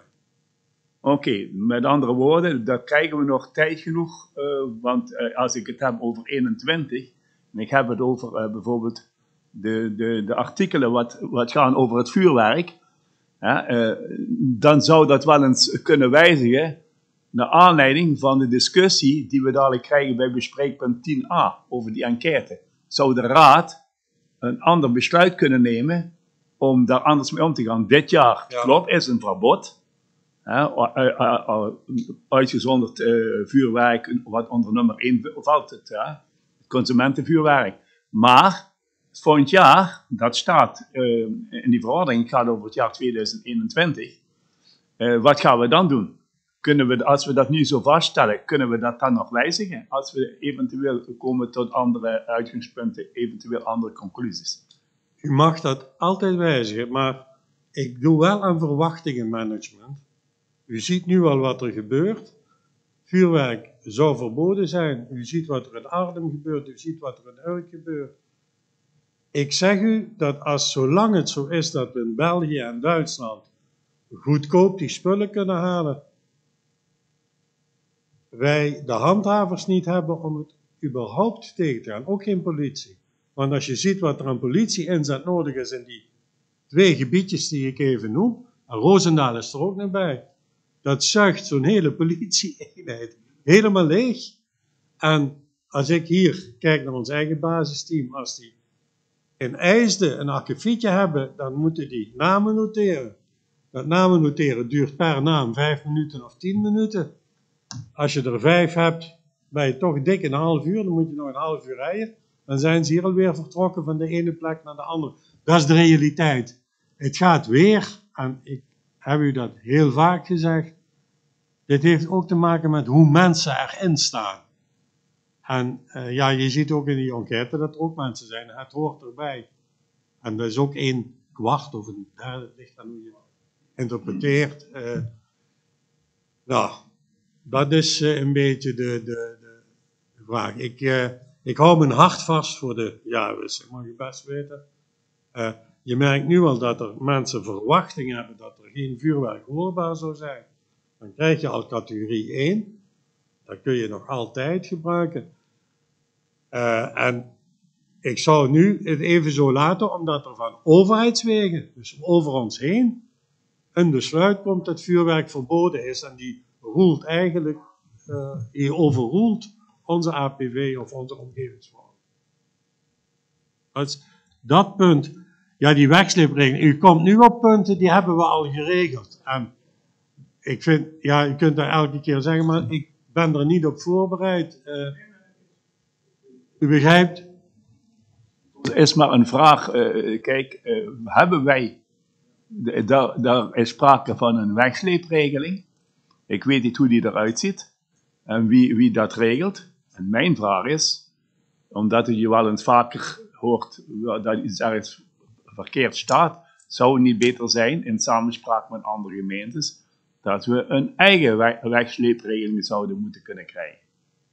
Dat is mijn vraag. Dat wil niet zeggen dat dat nu direct... Ik kan daar nu zo geen antwoord op geven. Nee, daar, daar wil ik het wel eens over hebben. Ja, dat is goed. Dan laat ik daar een notitie over ja, maken. Ga, dat, ik, ga, ik ga dat, uh, het raadsvoorstel daar niet op tegenhouden, maar het is gewoon een vraag. En die hoeft, uh, het antwoord hoeft niet vandaag gegeven te worden. Het heeft nog wel even tijd. Prima. Ja, en dan uh, heb ik volgens mij hebben we alles gehad. Dan komen we dadelijk nog even terug op die uh, uh, punten van het vuurwerk. Voorzitter, ik zie meneer Klein al een beweging maken, maar er was nog één puntje en dat ging over de drugs. Verkoop van drugs aan de... Ja, maar daar constateert hij dat er wel drugs verhandeld worden. Maar als iets in een verordening staat, betekent niet dat dat niet gebeurt dan kun je er wel op tegen optreden, laat ik het zo zeggen. Maar uh, ja, het is zo algemeen dat ook daar de capaciteit ontbreekt om er echt op. Wat je doet is proberen met preventie, met jongeren op scholen, etc. En natuurlijk daar waar het excessen zijn, treed je op. En ja, goed, uh, ik geef u toe, dat, dat gebeurt gewoon. Ja, uh, kijk, waar het mij om ging, dat het uh, zo is opgenomen in dat artikel, dat het totaal verboden is. Maar ja, ik wil alleen maar aangeven, ja, papier is geduldig, maar je komt het wel vaker tegen. En, en nog een vraag die ik niet beantwoord heb. Oh, ja, zo, ja, want dat, dat is het, het over artikel 2.9.2 over het krijten.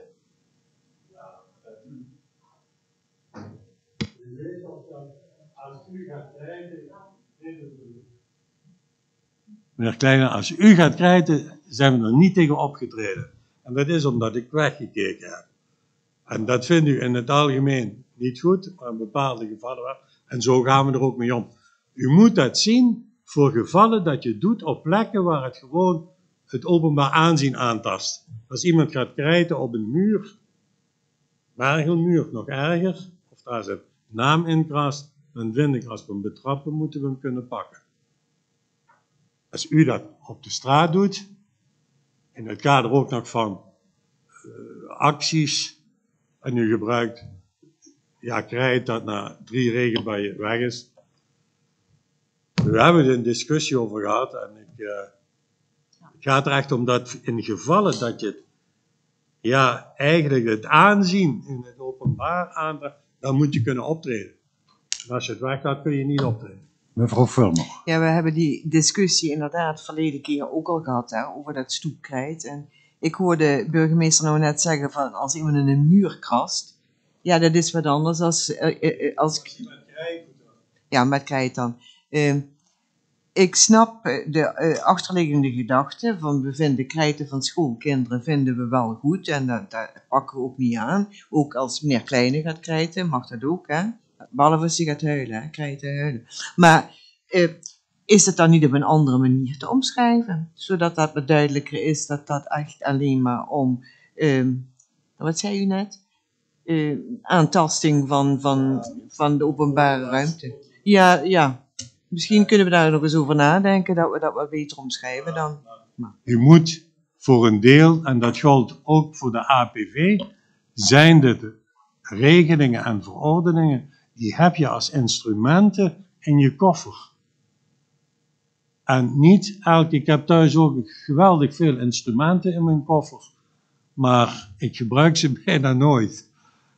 En dat is met dit soort zaken ook. Dan heb je, ik zal, ja, u maar, ik heb dat een keer, maar ik weet niet hoe dat bij ons geregeld is. Als, een, als je ergens zegt dat je inbrekersmateriaal niet mag hebben, mag je er naar op zoek. Als je het niet geregeld hebt, mag je er ook niet naar op zoek. Zo, zo, zo kritisch is dat soms. Het gaat dus ook om juridische grondslag in het geval dat je iets wil hebben. En dan heb je de instrumentenkoffer liefst ja, zo groot mogelijk. Dat is. Dat is uh...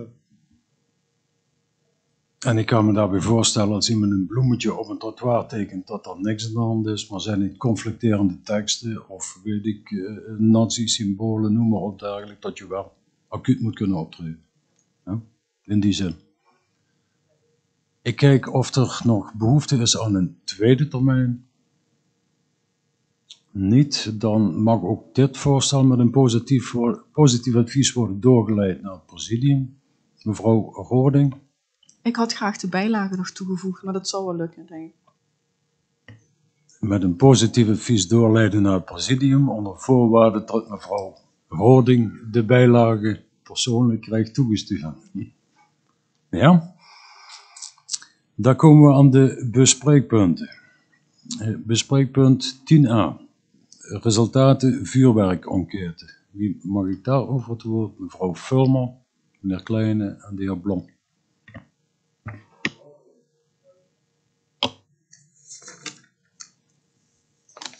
Okay. Dank u wel, voorzitter. Een korte reactie. Ofschoon verondersteld wordt dat een groot aantal inwoners de enquête ingevuld hebben, moeten we hier vraagtekens bij zetten. De enquête was namelijk fraudegevoelig. We hebben vernomen dat deze door personen meerdere malen ingevuld en opgestuurd is. De resultaten bekijkend kunnen we constateren dat de enquête voornamelijk ingevuld is door tegenstanders van vuurwerk en verwente voorstanders. Verder valt op dat de meerderheid zelf geen vuurwerk afsteekt en open staat voor één of meer vuurwerkshows. Hoe hieraan invulling gegeven kan worden is nog de vraag. Maar het is nu niet de tijd om hierop vooruit te lopen. Achteraf bekeken is de tijdstip om de enquête te bespreken niet zo handig, daar de jaarwisseling zowat voor de deur staat en we te maken hebben met een tijdelijk landelijk vuurwerkverbod tijdens de jaarwisseling. We vragen ons af hoe hierop gereageerd gaat worden door onze inwoners, hoe dit te handhaven is er wordt immers nu al flink geknald in de kernen. en of er voldoende politie- en boapersoneel beschikbaar is om eventuele onregelmatigheden het hoofd te kunnen bieden. Inmiddels hebben we in de krant kunnen lezen dat ook de politie zich zorgen maakt als er geen actie wordt ondernomen. Het Veiligheidsberaad roept gemeenten op alternatieve activiteiten te bedenken, maar komt zelf niet met voorstellen. Dat de tijd hiervoor te kort is, mag geen reden zijn om dan maar niks te ondernemen en de politie op te zadelen met het oplossen, oplossen van de ontsta, eh, ontstane onvrede. Vandaar onze dringende vraag. Wordt speciaal aandacht gegeven aan het bieden van een alternatieve activiteit of activiteiten onder begeleiding voor onze jeugd? Dit om zoveel mogelijk incidenten en bekeuringen voor deze groep te voorkomen. We gaan ervan uit dat de luchtkwaliteit erop vooruit gaat door het tijdelijke verbod. De vraag is, wordt dit ook gemeten? Het verbod is ingesteld als coronamaatregel. Er zullen inderdaad hopelijk dan minder mensen gewond raken. Dat is in ieder geval positief, daar elk slachtoffer er één te veel is. Ja, voorzitter, we zouden dit jaar eigenlijk moeten gebruiken om de reacties op het verbod en hoe dit nageleefd wordt en hoe onze inwoners in vuurwerkvrije jaarwisseling ervaringen, ervaren hebben, in het voorjaar te evalueren, zodat we meer zicht hebben op hoe verder, met of zonder vuurwerk, wel of niet georganiseerd. We hebben tijdens de begrotingsvergadering gevraagd of het college na zou willen denken over een alternatief voor vuurwerk tijdens de jaarwisseling. Ons voorstel was een lichtshow op de Heunsberg bijvoorbeeld en deze via TV Valkenburg uit te zenden. Zijn er inmiddels nog andere ideeën naar boven komen drijven bij het college? Voor het geval dat, hebben wij een aanvullend voorstel. Een loterij. Men zou kunnen denken aan we trekken uit het adressenbestand een aantal adressen. Tijdens de nieuwjaarspeech maakt de burgemeester bekend wat er gewonnen is door de gelukkigen. Daar het er nu naar uitziet dat de nieuwjaarsreceptie er deze keer waarschijnlijk niet in zit, zorgen we met een loterij er in ieder geval voor dat mensen massaal naar TV Valkenburg gaan kijken naar wat de burgemeester te melden heeft. Tot zover. Oké, dank u wel. Eh, meneer Klein. Ja, voorzitter, aanwezigen, wij uh, als VSP zijn zeer te spreken uh, met betrekking tot de toch wel zeer hoge respons van maar 1570 ingevulde vragenlijsten. En men had er zo'n 1200 verwacht. Hierbij kun je concluderen of je nu wel of niet voorstander bent van vuurwerk. Dit onderwerp leeft bij onze inwoners. We hebben de uitkomsten van de vuurwerkenquête geclusterd. De grootste respons, 14%, ligt er bij de inwoners boven de 60 jaar. Liefst 84% van de respondenten geeft aan geen vuurwerk af te steken. Zo'n 65% van de respondenten geeft aan last of enigszins last van vuurwerk te ondervinden, vooral van afval, afsteken van vuurwerk buiten en geluidsoverlast. 62% vindt dat het afsteken van vuurwerk effect heeft op het gedrag van huisdieren. En in toch niet gering aantal van 25% van de mensen spreekt van gevaarlijke situaties. Zo'n 76% is voor of een minder water voor een centrale vuurwerkshow, eventueel bij de jaarwisseling. We vinden het mooi, veilig passend bij oud en nieuw en is ook een mooie gelegenheid om samen te komen. 50% geeft aan dat ze tegen een totaalverbod van vuurwerk zijn. 24% geeft dit ook aan, maar willen dan wel dat de gemeente een centrale vuurwerkshow organiseert. Voor dit jaar is het afsteken van vuurwerk op het lichtvuurwerk naar verboden, vanwege het coronavirus. Wij vragen ons ook af hoe, hoe het gaat met de handhaving van deze. Wij wonen namelijk in, een, in de grensregio en het zal ons niks verbazen dat er toch inwoners van onze gemeente hun vuurwerk zingen kopen in België en of Duitsland. We vinden dat zeker in deze coronatijd waar de mensen die werkzaam zijn in de gezondheidszorg en die nu al handen tekort komen met een zeer kwalijke zaak. Wij als VSP vinden dat er hier dan ook sprake is van ASO-gedrag. Ja, eh, als je de, de conclusie daaruit wil trekken, dan zouden wij zeggen, ja, en voor dit jaar is het geregeld. De landelijke overheid heeft aangegeven wat in feite niet mag, dus daar hoef je in feite niks meer aan te doen. Dat overstijgt alles. Maar ja, voor het volgend jaar, eh, ja, dan zouden wij zeggen, ja, als je de uitkomst van de enquête ziet, ja, verbied het maar. Maar dit gaat ons wat, wat al te snel natuurlijk, want eh, wij willen ook eh, in navolging van de PGP afwachten hoe het een en ander gaat gebeuren. Wat kunnen we verwachten ondanks het verbod? En, en daar kun je ook kijken als, als zich daar mensen daadwerkelijk vuurwerk en afschieten. Hoe, hoe is het te handhaven of niet te handhaven? En dat we dan in elk geval, eh, eh, hoe, hoe zijn ook de reacties van, de, van onze inwoners erop? En ik zou ook zeggen, ja, laten we dan die, eh, die evaluatie van die vuurwerkenquête nog eens overdoen nadat de jaarwisseling zeg maar in feite heeft plaatsgevonden. Uitkomsten zijn voor ons helder. Over grote meerderheid spreekt zich ergens tegen uit. Maar je kunt niks uitbannen in deze tijd. Dus dat willen we heel nadrukkelijk even kijken hoe dat zijn verder beloop heeft. Tot zover in eerste termijn. Dank u wel, meneer Blom.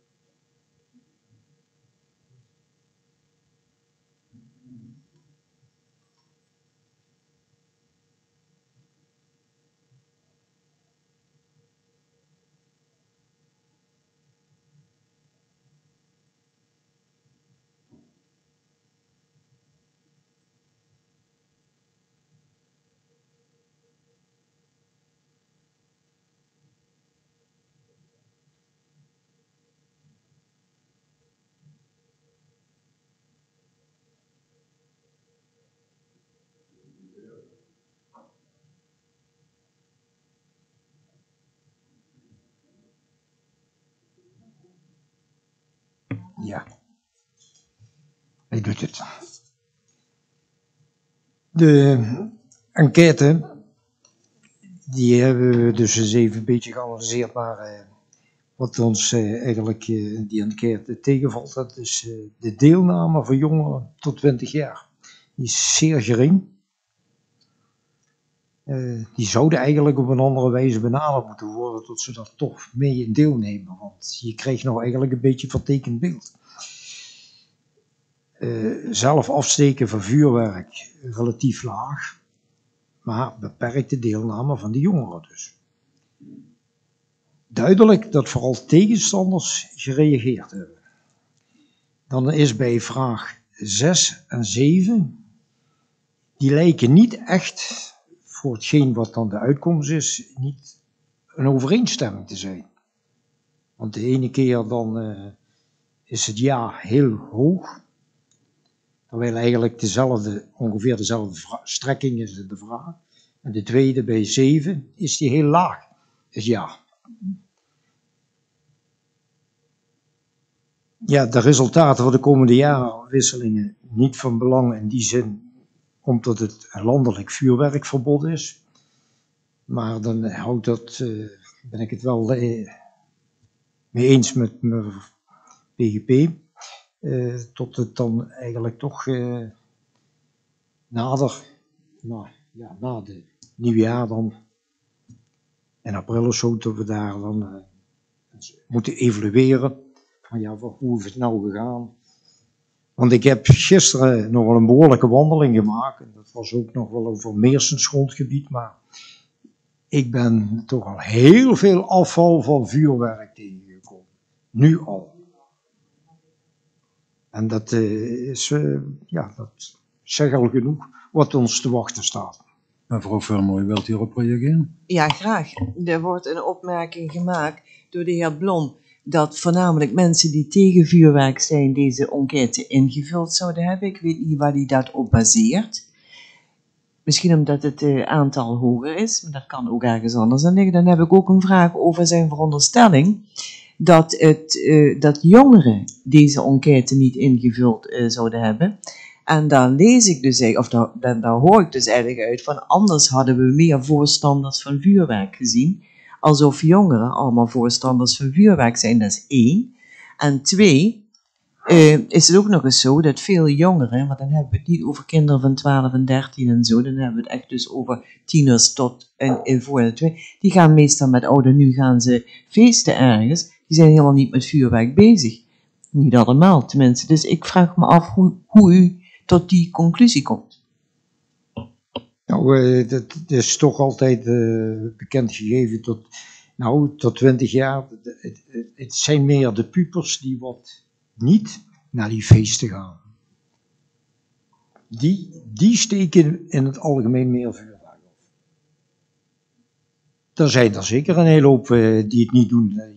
Dat zal overal al- en altijd zijn. Als ik nou mijn eigen kinderen van vroeger bekijk, mijn zoon, die heeft maar één jaar vuurwerk afgestoken. Toen was hij in één keer genezen, want hij stond s'nachts om twee uur nog met zijn rotjes. En eh, toen was de lol er vanaf, want het regende en het was koud. En heeft nooit meer voor vuurwerk afgestoken, nu nog niet meer. Dat geldt niet voor iedereen.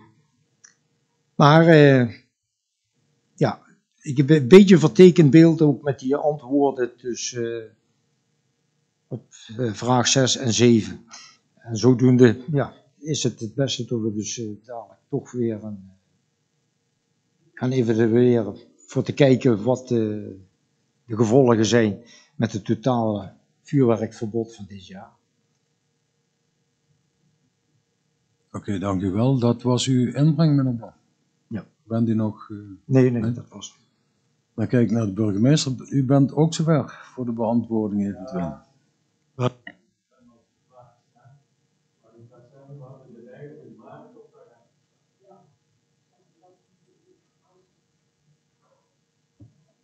Ik had, eh, ben wat verbaasd, het stond in maart op de agenda.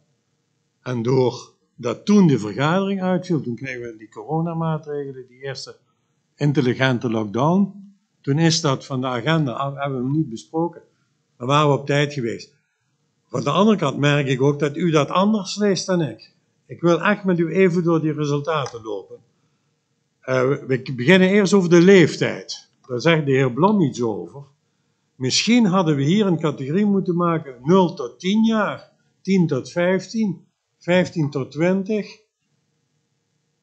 Maar wij hebben eigenlijk met die kolommen willen laten zien, als je kijkt hoeveel mensen wonen er in Valkenburg aan de Geul van eh 20 jaar of jonger, dat zijn er 16% van alle inwoners is 6 20 jaar of jonger.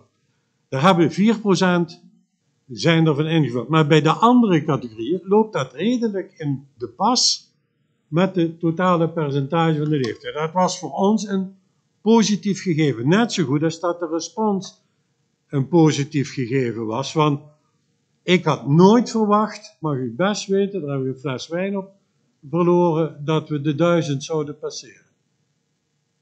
En we hadden van tevoren gezegd, als er 1200 zijn, vinden we het de moeite waard. Nou, het zijn er nog meer geworden. Dan zegt mevrouw Fulmer van, ja, fraudegevoelig. Dat zijn, nee, u zei, u kent diverse mensen die hebben gezegd, ik heb het opgeschreven, u zei het, maar om te, en ik zeg, wij hebben hier gekeken naar IP-adressen voor de mensen die met de computer, en daar bleek dat reuze mee te vallen. Er zijn via de IP-adressen niet zoveel dubbelingen geweest. Dus dat vervolgens mensen misschien op papier iets invullen, nou dat kan. Is het zo'n onderwerp waar je dat zou willen doen? Ik vind het niet zo controversieel. Maar goed, eh, als we dan kijken naar de volgende, dat zijn het aantal respondenten per kern, dat is op zichzelf, zie je dat Valkenburg, meest stedelijk gebiedje zou ik willen zeggen, dat je daar de meeste respons krijgt. Dat ligt voor de hand. Ik had eigenlijk in Bergen ter Blijt ook nog wel wat verwacht. En ja, eh, voor de overige zijn die kernen toch al redelijk gematigd. En zie je ook dat dat minder een rol speelt. Eh, de volgende is, steekt u zelf vuurwerk af? Nou, dat is duidelijk. Dat doet 15%. En die kennen we allemaal. En die 85 kennen we ook allemaal. Eh, dan gaan we naar, heeft u afgelopen jaren overlast ervaren? Dan zegt eh 40% ja. En dan zegt 25% enigszins. Maar ik leg enigszins uit als het valt wel mee. Daar kun je ook anders naar kijken. Dat is gewoon hoe je dat woord ziet. Maar ik vond dat niet dramatisch. Ik vond dat op zichzelf wel een goede eh, balans tussen ja en nee. 40 om 35. hè, en 25 daartussenin. Enigszins overlast. Volgens mij is dat ook de realiteit. Nou, dan gaan we vragen waar heeft die overlast mee te maken? En natuurlijk is het zo dat dat eh, de, de huisdieren zijn, dat is de geluidsoverlast. Eh, afsteken van vuurwerk buiten de eh, toegestane tijd. Zeg maar, je begint al de hele zaterdag, of ja, oudejaarsdag, misschien nog eerder, daar ergeren mensen zich aan. En natuurlijk die rotsen die op straat blijven liggen. Dat de mensen niet eens met veger en blik dat opruimen, zoals wij dat vroeger moesten. Nou, eh, op zichzelf zijn het wel hele reële uitkomsten, vind ik dan. En, en dan krijg je de vragen waar de heer Blom het over heeft. Je moet goed kijken wat er staat. Als we een centrale vuurwerkshow hebben, komt dit in plaats van het individueel afsteken van vuurwerk. Dan zeggen mensen uiteraard, ja doe dat maar. Want er is een hele hoop die steken toch al geen vuurwerk af.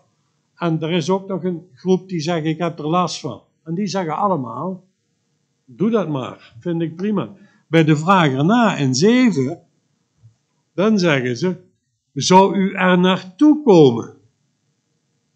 Dan zeggen ze, dat hoeft van mij niet.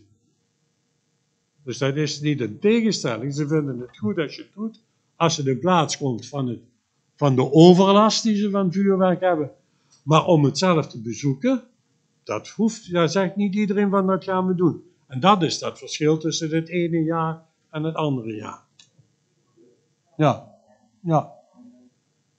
Maar daar staat wel bij, dat, er staat natuurlijk zo'n 30% zegt ja, maar er staat ook nog eh, tegenover dat zo'n 40% zegt misschien.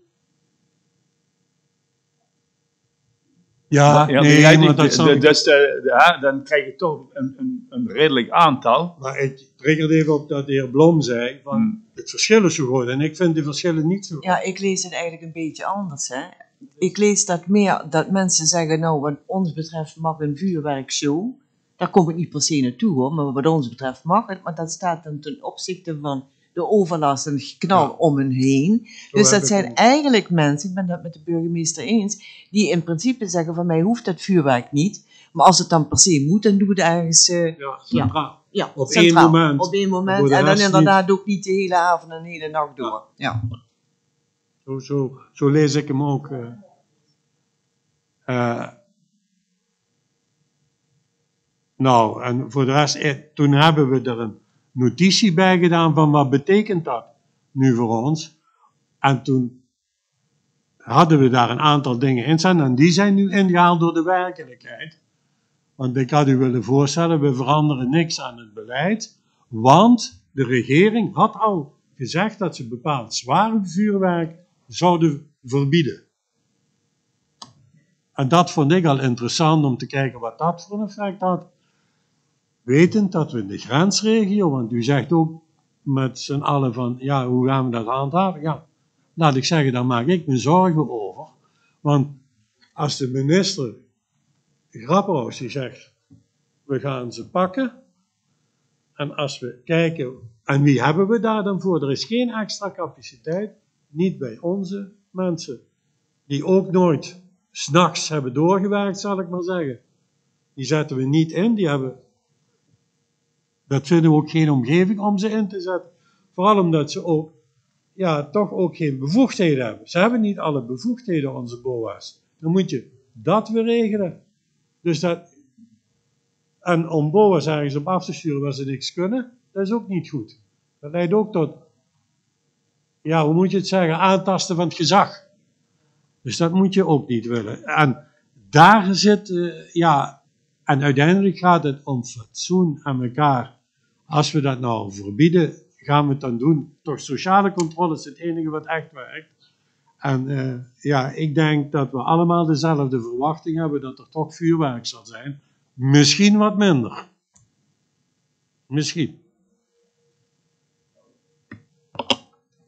Voorzitter, ik weet dat we het vorig jaar eh, gevraagd hebben om eh, in de buurt van de verzorgingstehuizen, daar hebben we zelfs, eh, hoe noem je dat, eh, Gebiedsvrije. En dat heeft toch redelijk gewerkt. moet ik zeggen. Dat, dat heeft ook werk. Dat was ook mijn voorstel om dat opnieuw Ja. zo te doen. Maar ja, nu geldt het voor de hele gemeente, zou je kunnen zeggen. Eh, maar ik zou echt vinden dat mensen daar in elk geval uit de buurt moeten blijven. Mevrouw Vulman. Ja, ik wil toch graag, ik weet dat het antwoord een, een, een- het is een lastige vraag, laat ik het zo zeggen, maar wij maken ons daar met u ongerust over. In hoeverre, er stond ook in de krant, wordt vooral aangeraden zoveel mogelijk met de jongeren in gesprek te gaan, en noem maar op, om proberen het escaleren van zaken te voorkomen. Inderdaad, dan hebben we het ook over BOA's die straks ehm, eh, eh, jongeren moeten gaan toespreken. Het is allemaal niet fijn wat nu gebeurt. Maar hoe kunnen, we, hoe kunnen we daar iets voor doen? Wat zouden we kunnen bedenken om. Nou, wat ik dus eigenlijk ook nog vind, want dat, dat jongeren dan van tevoren al beginnen te knallen en noem maar op, dat weten we eigenlijk, dat is een gegeven, dat doen ze gewoon, hè. Maar eh, dan moet daar tegen opgetreden gaan worden. En dan eh, zouden er ook nog boetes uitgeschreven moeten worden en een aantekening op straf. Ik vind dat nogal wat hoor. Dus eh, als we iets kunnen doen om de jeugd daar meer in te begeleiden of met ze te praten of noem maar op, dan zou ik dat vooral doen. Is dat, is dat mogelijk? Meneer Blom, een verzelfde vragen in dezelfde lijn als mevrouw Vulman? Nee, dat, eh, die, die gaat iets anders. eh, we gaan dit jaar beleven dat we dus eh, geen vuurwerk hebben, landelijk afgekondigd. Dan gaan we volgend jaar toch eh, kijken om het hier in de gemeente dan te verbieden, of niet. Ja, maar mijn vraag daarover is dan, eh, ja, kijk, nu krijgen we landelijk vuurwerkverbod. Dat is dan te handhaven landelijk. Maar eh, als wij nou als gemeente zeggen, wij willen het dus niet meer. En eh Voerendaal en Gulpen, daar mag het wel. Die doen dat dus niet. Wat hebben we dan weer voor een probleem? Want ik woon, ja, eh, Wim nog, eh, meneer Weerts nog veel korter, bij eh, de grens van de gemeente.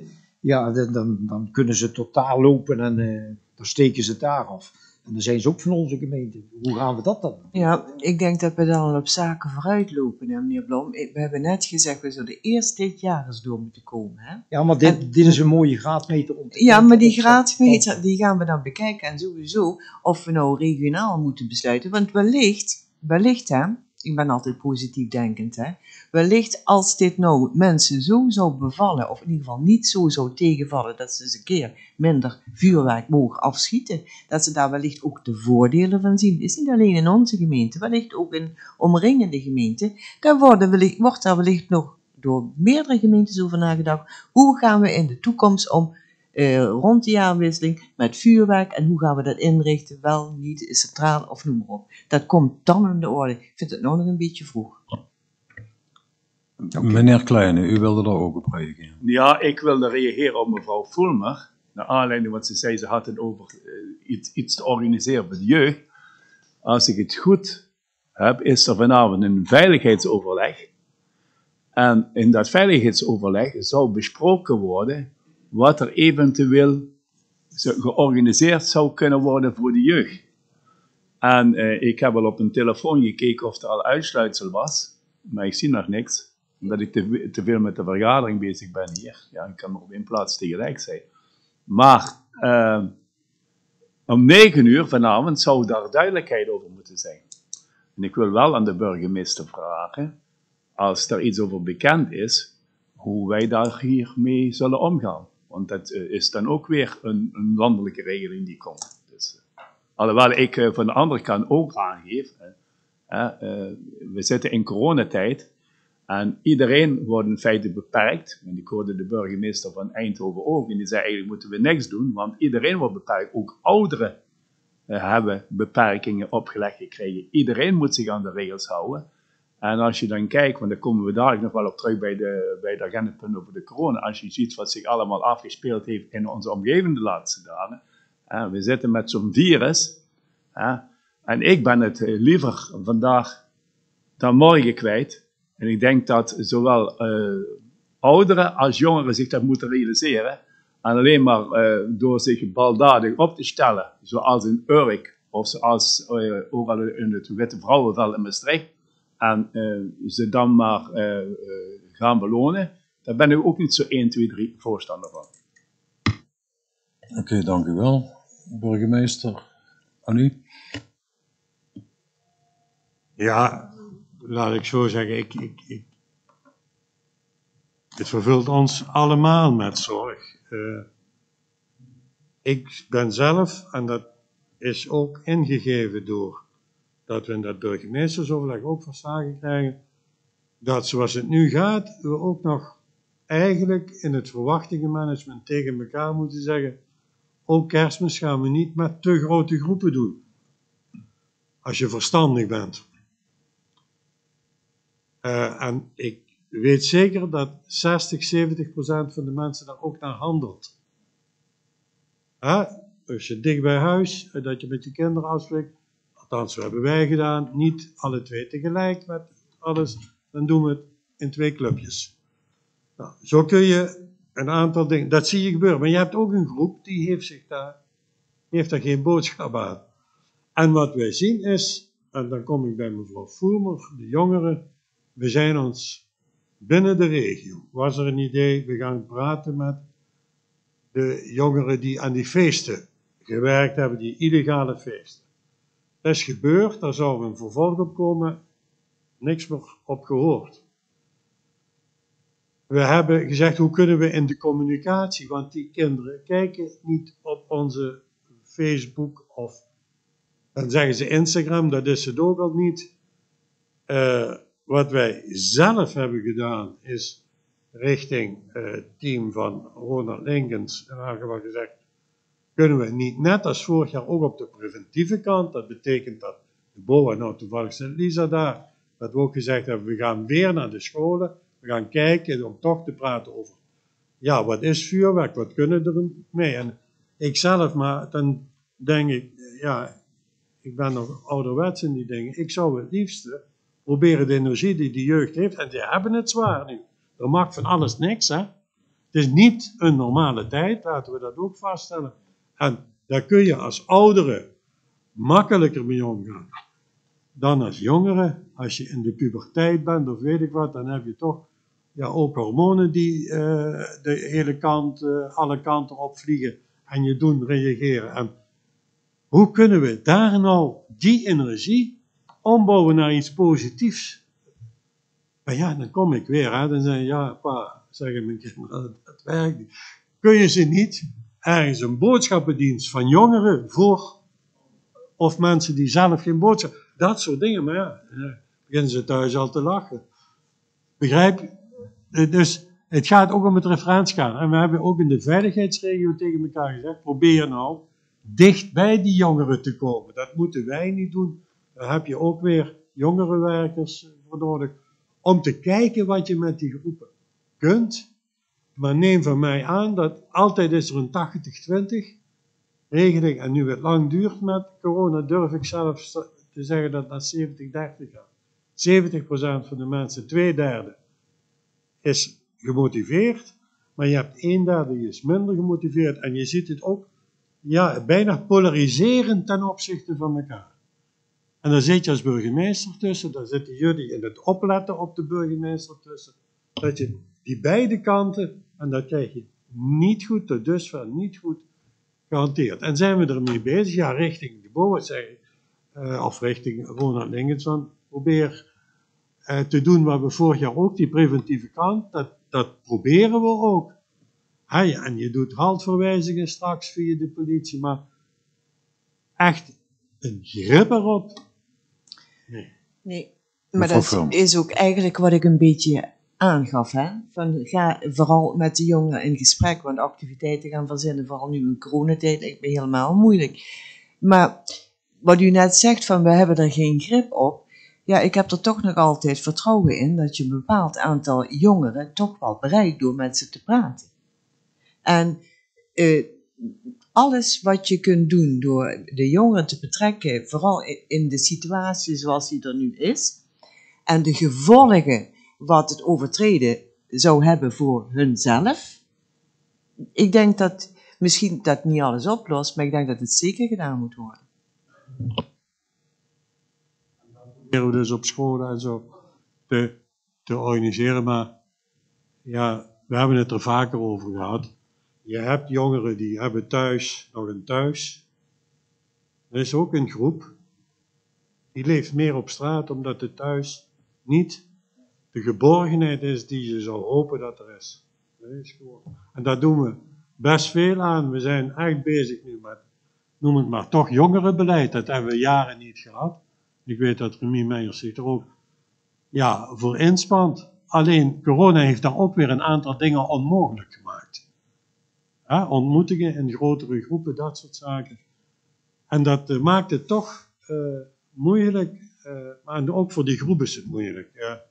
We zijn zelf ook allemaal jong geweest en toen waren we ook wat anders dan nu.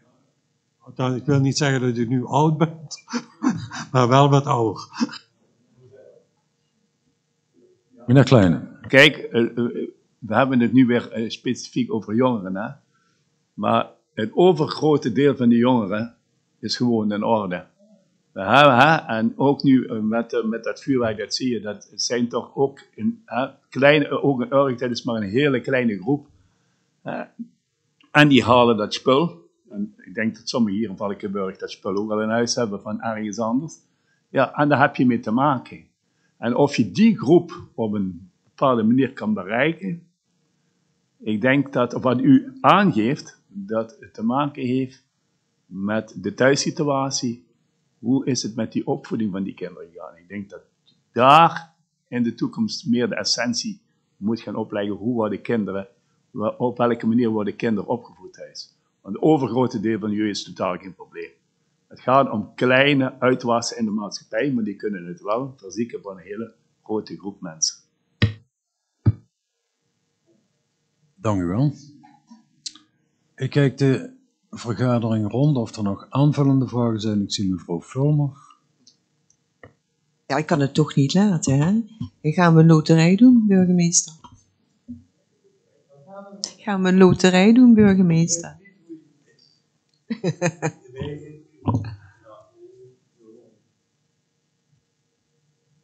Eh, Dat is, U ja. sprak al over een nieuwjaarspeech en zo. Ik heb een brief namens de raad en namens het college in de maak. Volgens mij staat er al een handtekening op. Gaat die begin volgende week uit dat we geen nieuwjaarsreceptie hebben. Maar dat is. En om voor TV Valkenburg een tien minuten lang verhaal te houden, daar geloof ik niet in. Dat moet altijd drie, vier minuten zijn. Dus dat gaan we proberen. Maken we een heel kort filmpje. Er zullen best wat wensen in staan, maar eigenlijk staat dat we moeten proberen elkaar nog door deze tijd te trekken. En ik hoop dat het echt mogelijk is dat we over enige maanden één of twee spuitjes gehad hebben, waardoor we misschien eh, het virus aan kunnen, om het zo maar te zeggen.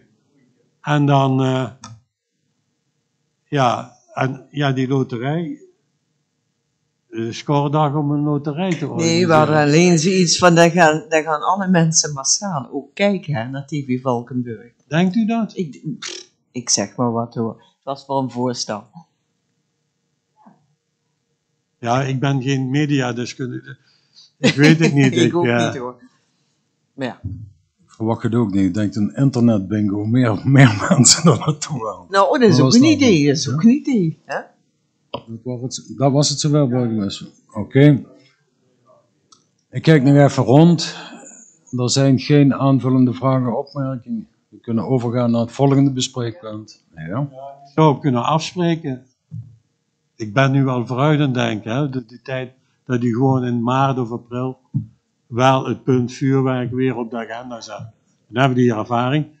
Nu was ook het voorstel hè, om, gelet op het feit dat bepaald knalvuurwerk verboden zou worden, met het feit van de vuurwerkvrije zones die we bepaald dat we dat ook zouden afwachten, kijken de effecten, dat wordt nu nog breder. En dan kunt u dan weer kijken.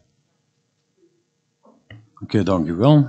Daar komen we bij bespreekpunt 10b. eh, De notitie over het inwonerpanel Valkenburg en de Geul. Wie wil daarover het woord voeren? Mevrouw Vulmer. Meneer Kleine. Mevrouw Vulmer. Ja, voorzitter, een hele korte reactie hierop. Alle mogelijkheden om participatie en inspraak te verhogen moeten we aangrijpen. En panels is een veelgebruikte vorm.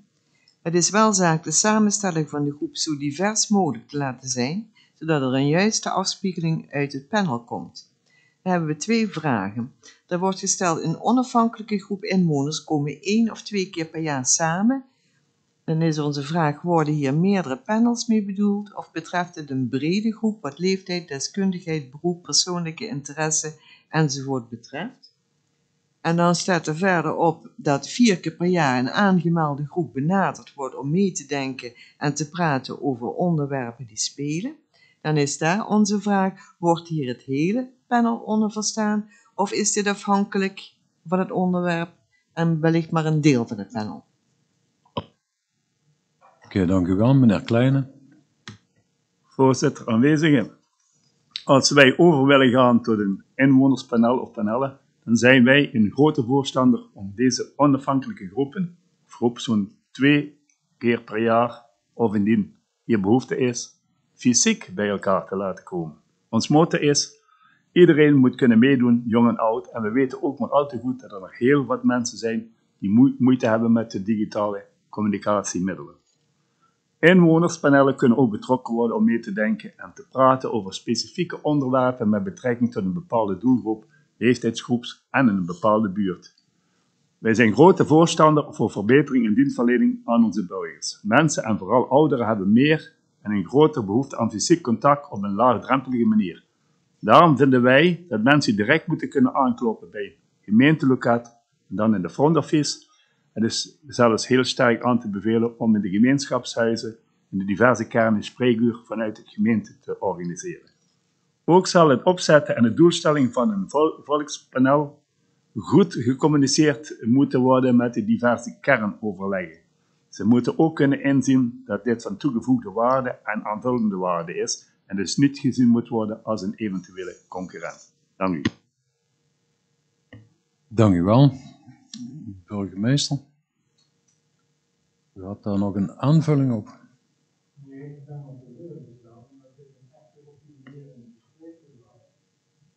eh, bedoeld was van, hier ziet u een uitwerking. Mevrouw Vulman die gaat in op dingen die we niet willen. Hè? Onderzoek laat zien dat een inwoner op vele manieren gestalte kan krijgen. Wij stellen niet voor wat er staat.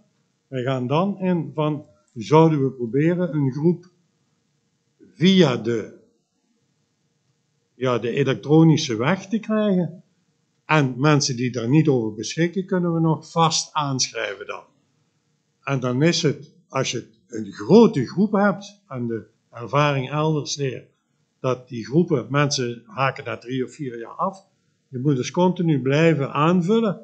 En je moet ook zorgen dat je een goede spreiding hebt over alle leeftijden, een goede spreiding over de verschillende kernen. En het komt erbij, het is meer voor meer algemene, want we blijven natuurlijk doen, als er ergens een bestemmingsplan is of een omgeving, dan ga je toch altijd met de buurt in conclaaf. Dat doet, als je nu kijkt, dat hebben we straks in het presidium ook weer een paar voorbeelden van.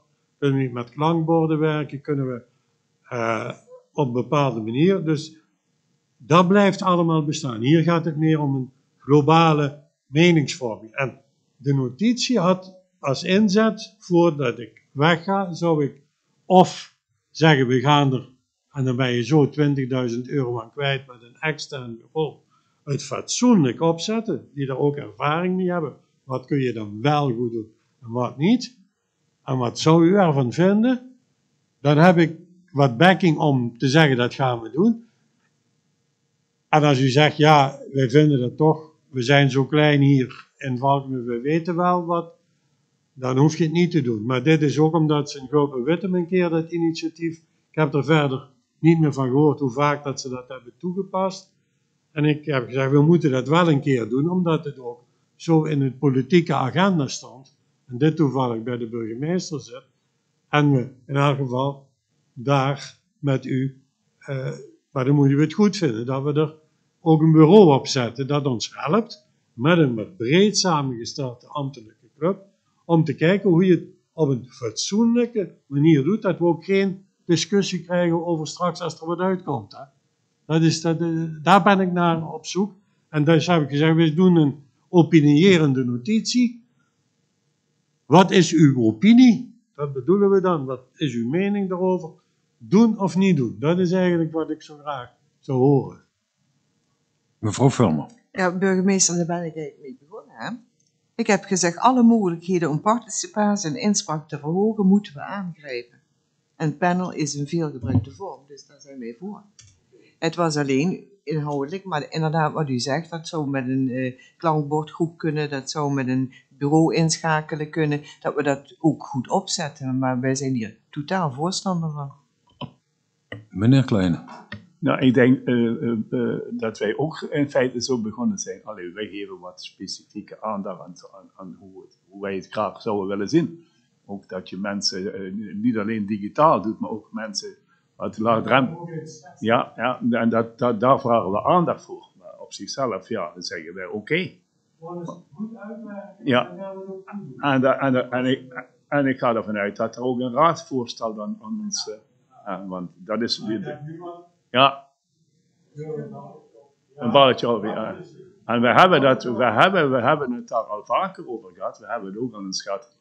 En dat komt ook eh, nog niet van de grond. Daar zijn we ook al een hele tijd over bezig.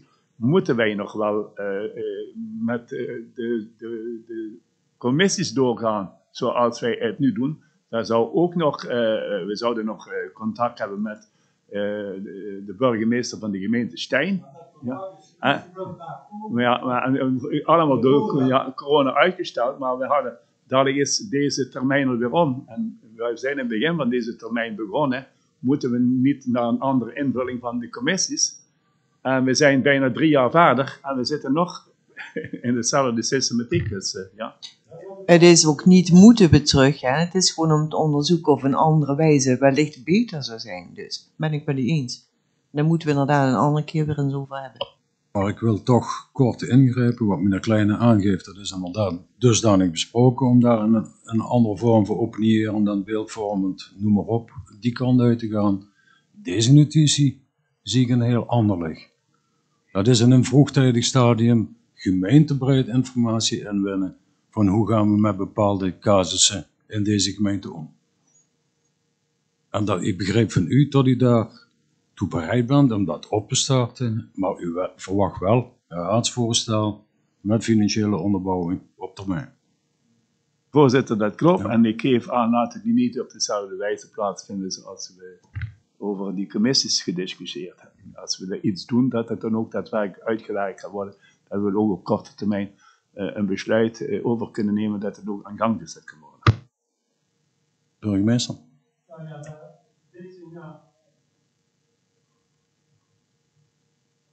Mis het, ja.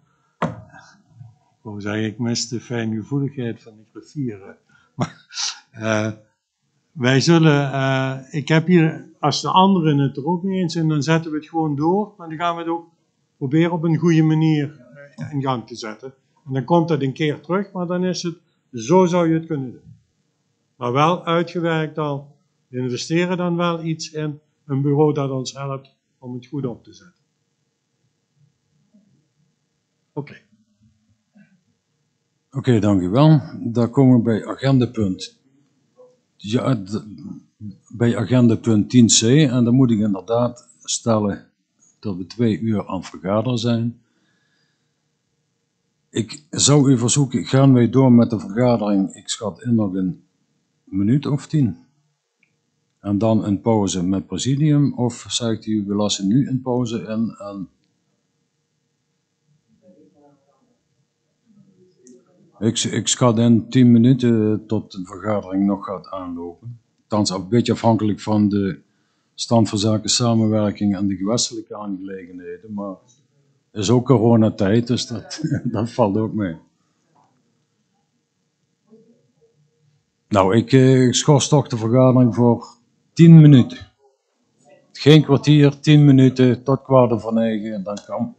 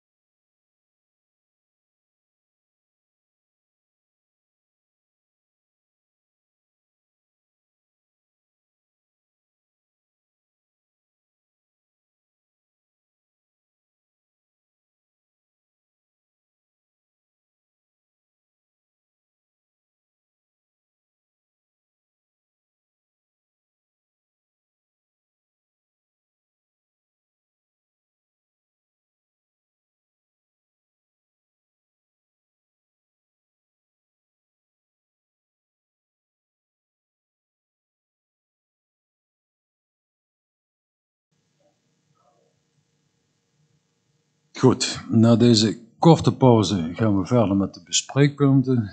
We waren gebleven bij agendapunt 10c. COVID-19, stand van zaken. Ehm, is er iemand vanuit de commissie die daar het woord over wil voeren? Ik zie mevrouw Roding, meneer Kleine. Mevrouw Roding. Dank u wel, voorzitter. Onze reactie gaat met name over het RIB. De maatregelen ter compensatie van de financiële gevolgen van corona najaar 2020. Voorzitter, dit RIB gaat over de financiële maatregelen die onze gemeente heeft genomen in aanvulling op de diverse steun- en herstelmaatregelen vanuit de Rijksoverheid en in aanvulling op eerdere maatregelen in het voorjaar van 2020. Over het gehele jaar 2020 wordt nu geen precario-belasting gegeven en reeds betaalde bedragen worden teruggestort. Ook wordt over 2020 de huur voor sport en maatschappelijke huurders kwijtgescholden. We zijn blij dat we in samenspraak met Raad en College deze maatregelen hebben verlengd voor het hele jaar 2020. Graag horen we nog van het college waarom is besloten om de generieke maatregel niet te verlengen na die datum, want daar lezen we geen onderbouwing voor in dit bulletin. We willen u dringend vragen om deze beslissing te heroverwegen. Het gaat niet goed in en met Valkenburg aan de Geul. Dat zult u ook constateren als u door onze gemeente loopt en praat met inwoners en ondernemers. We moeten zorgen dat Valkenburg aan de Geul overeind blijft. Aan de coronapandemie zelf kunnen we helaas niet meer doen dan de richtlijnen volgen. Maar wij zijn van mening dat gemeentebestuur een plicht heeft om onze inwoners en ondernemers de extra steun te geven die noodzakelijk is om te kunnen overleven tijdens en ook na deze COVID-19-situatie. Zoals eerder bij de algemene beschouwingen in november aangegeven, willen wij nogmaals de gemeente Venlo onder de aandacht brengen. Daar heeft men niet alleen voor 2020, maar ook meteen voor het gehele jaar 2021 besloten om geen lokale heffingen op te leggen. Tot zover in eerste termijn. Dank u wel. Dank u wel, meneer Kleine. Meneer voorzitter, aanwezigen. Op bladzijde 4 van het informatiebulletin staat te lezen of met inachtneming van de nieuwe regels en bevoegdheden één Zuid-Limburgse aanpak mogelijk blijft.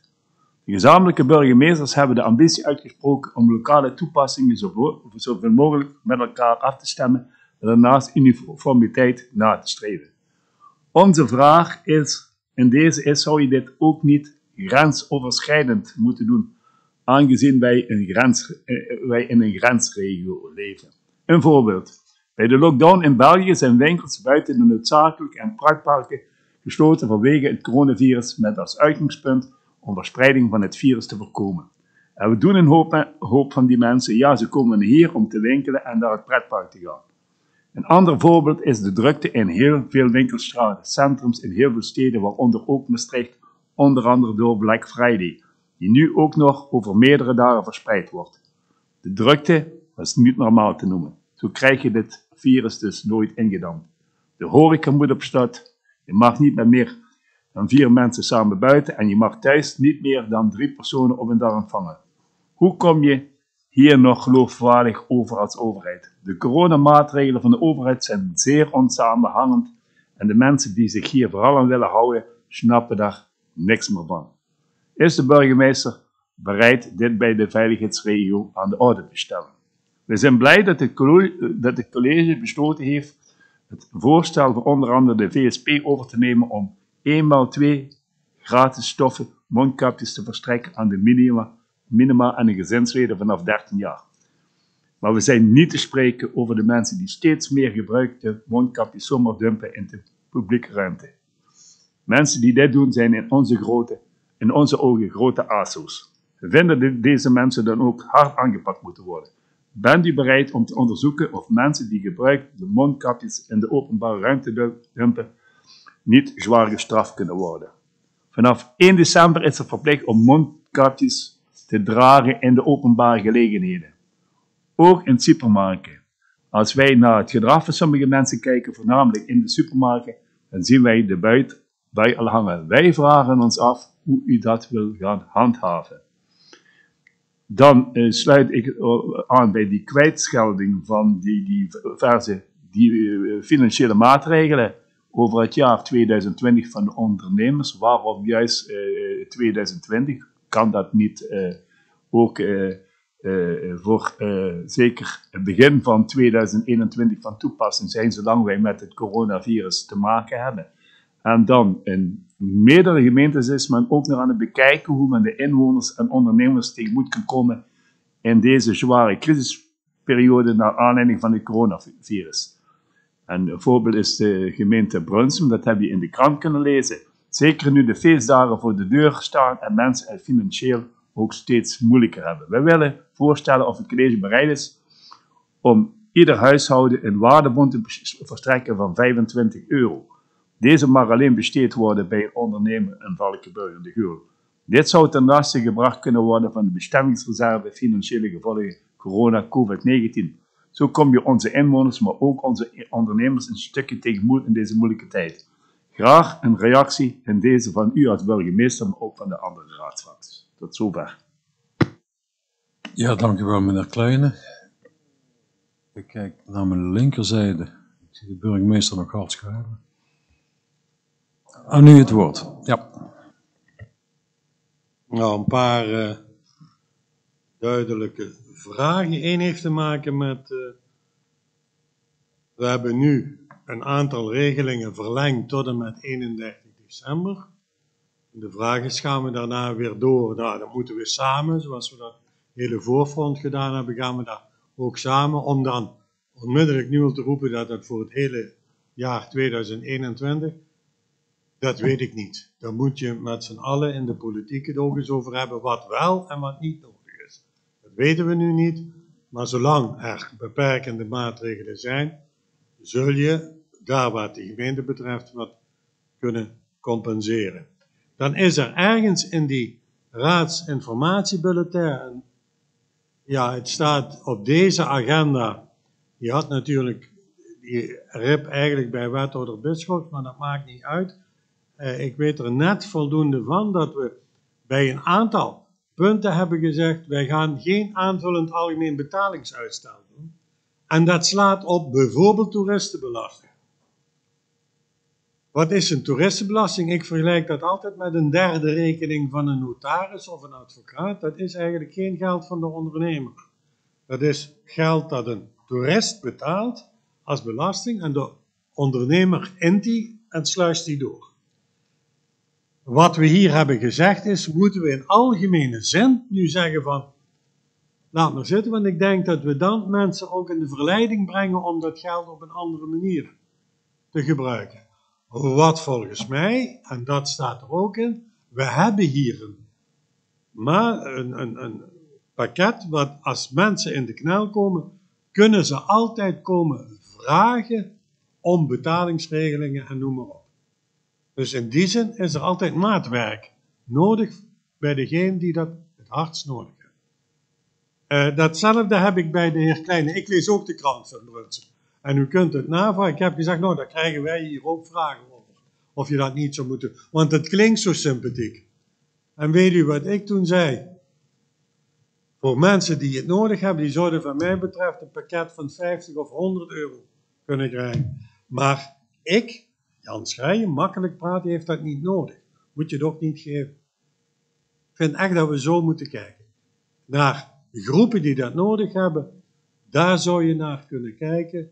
Dat, dan, maar dan zit ik daar waar dat zin heeft. Maar als mensen, er zijn ook mensen die kunnen nu niet gaan uiteten. Die hadden nog geld over ook. En die ga je dan nog eens. Dat, dat zou ik verdunnen, noem ik dat. Hè? Dan ga je, je moet het eigenlijk brengen naar plekken waar dat echt helpt en bijdraagt. Meneer Kleine. Eh, d- eh, Oké, daar, daar voel ik wat voor. Dus dat is een persoonlijke Ah, ah, nee, maar dat voel ik wat. Kijk, ik heb het breed getrokken. Wat, wat ons omging is in feite, hè, eh, eh, je wil ook dat eh, mensen iets besteden bij de lokale ondernemer, maken ook weer kennis met die lokale ondernemer.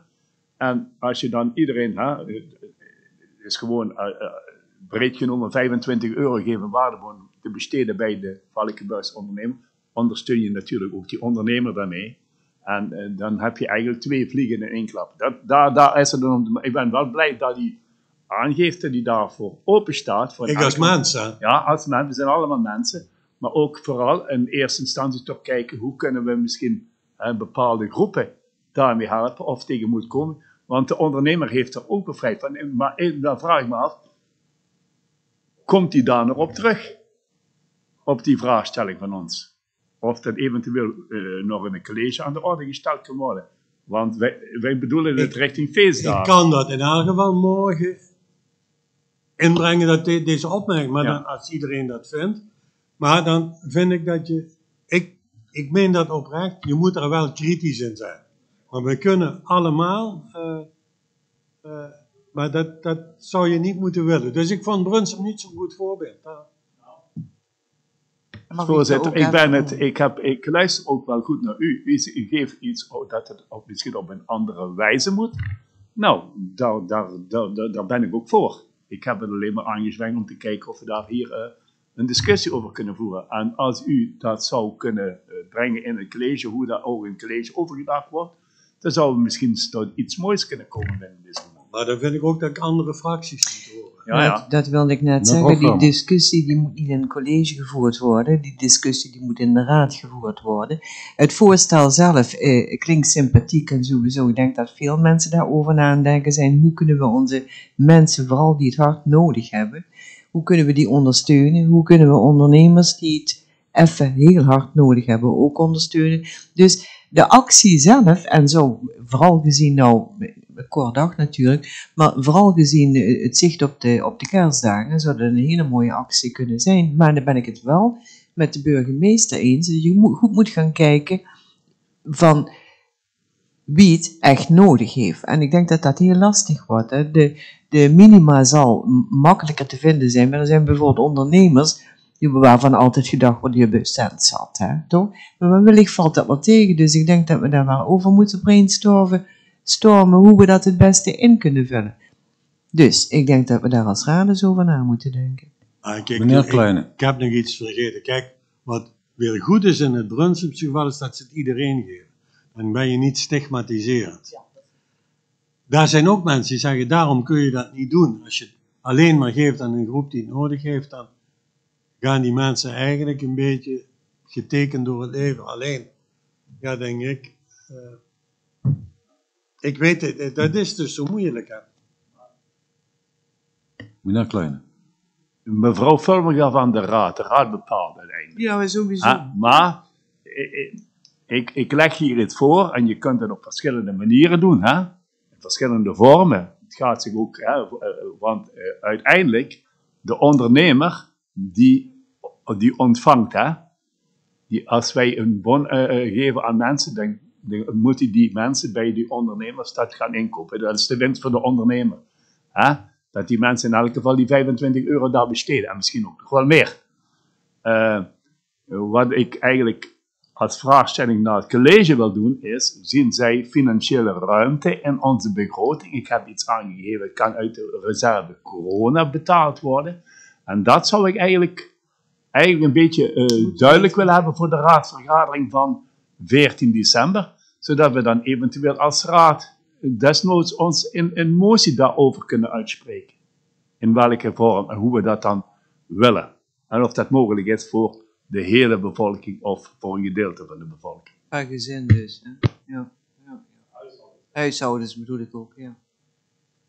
Ja, want dat stigmatiseren is natuurlijk ook wel iets waar je over na moet denken.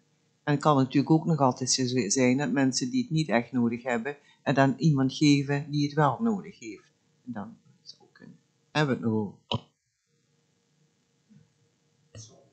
Maar Meneer Blom. Het zal een hele moeilijke opgave zijn om die mensen die wat er echt voor eigenlijk in aanmerking komen te vinden. Want je hebt ook heel veel stille armoede die wat helemaal niet bekend zijn.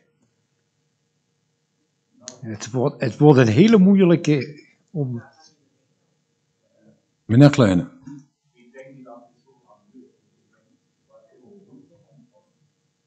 Als het, eh, kijk, als het zo is, het gaat zich ook eh, je slaat twee vlie- vliegen in één klap, je helpt mensen daarmee. Want iedereen heeft het wel wat moeilijker nu. Hè? Iedereen, hè? er zijn ook mensen die, die eh, eh, vanwege eh, hun werk, hun werk verloren hebben of zoiets. Dus ook minder inkomen en wel weer boven het minimum zetten. Maar toch een financiële terugslag hebben. Daar moet je ook naar kijken. En de ondernemers, onze lokale ondernemers, heeft er ook nadrukkelijk iets aan. Hè? Want kijk maar eens eh, af en toe naar uitgezonderd eh, Eh, zaterdag viel het wel wat mee met de drukte tegen 4 uur. Had misschien ook iets met Black Friday te maken. Maar als je vandaag weer door het centrum liep, dan was het toch wel karig, moet ik eerlijk zijn. Dus die, met name de detailhandel, maar ook de horeca nu, die hebben het heel erg zwaar. En je kunt die mensen daarmee helpen. Stel, die lockdown zou dadelijk weer, hè, we gaan uit dat dat virus in, eh, toch op zijn retour gaat, begin 2021. En dat ja, hopen we, want daar, komt zo een, een, vaccin aan. Voor mij mag het morgen aan hier naar Nederland komen. Als eerste in de rij.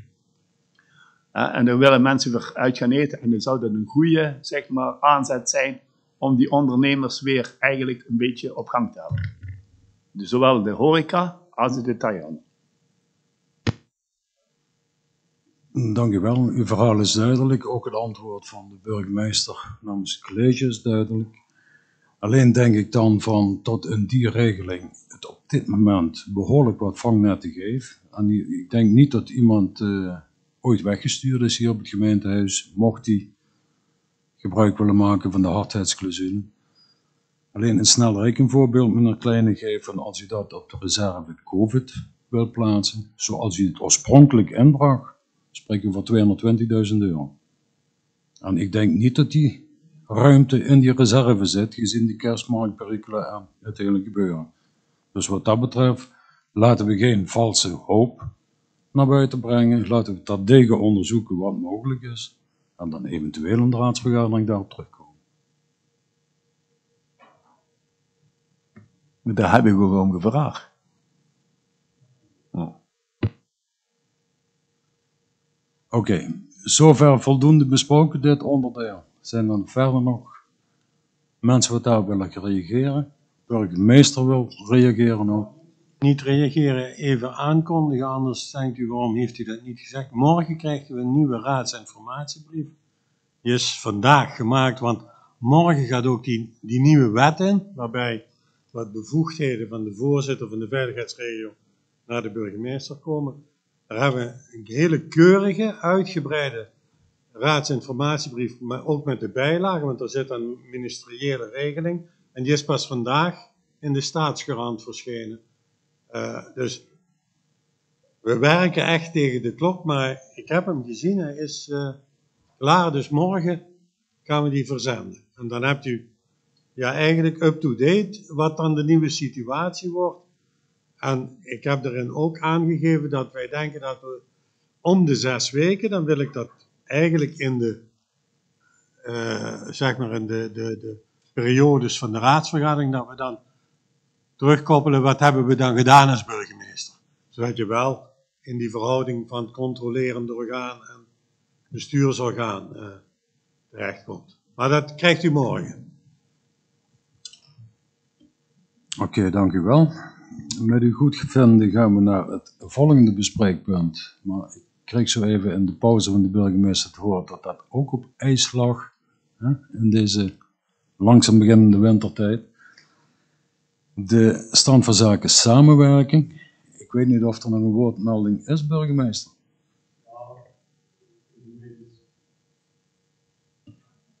Beetje, uh, er zit weinig schot in, anders dan dat we in het middengebied uh, onderweg zijn, dat we in Maastricht-Heuveland toch de laatste tijd uh, wat minder bij elkaar gekomen zijn.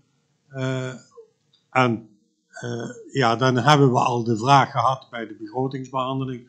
Betekent het feit dat Meersen en Maastricht met elkaar in discussie zijn, dat Meersen nog gaat kijken ook of er alternatieven zijn? Denken wij dat, ja, daar hebben we het over gehad en volgens mij is er niks nieuws te melden op dit moment op dat terrein. Oké, okay, dank u wel. Dan komen we punt 11, de gewestelijke aangelegenheden. Dat zal hetzelfde scenario zijn, denk ik zo'n beetje. Ik zie dat altijd op de agenda staan. En eigenlijk moet het presidium eens een besluitvaardig uh, houding tonen straks en dan schrappen we dat van de agenda. Want volgens mij heb ik daar nog nooit iets over gezegd, anders dan bij het punt daarvoor. lijkt een beetje op elkaar. Ik moet ook eerlijk bekennen dat het een beetje zich verplaatst heeft van de commissie Algemeen Bestuurlijke Aangelegenheden naar de commissie Economie, Financiën, Toerisme. Want het speelt nu feitelijk allemaal in het ezelverhaal, zal ik het maar noemen. Dus dat heeft zich eigenlijk een beetje verplaatst. Maar ik zie de griffier hard schrijven, dus eh, hij is op de hoogte van de mededeling. Dan komen we bij agenda punt 12, de rondvraag. Er waren twee vragen ingediend. Eentje van de PGP en eentje van de VVD.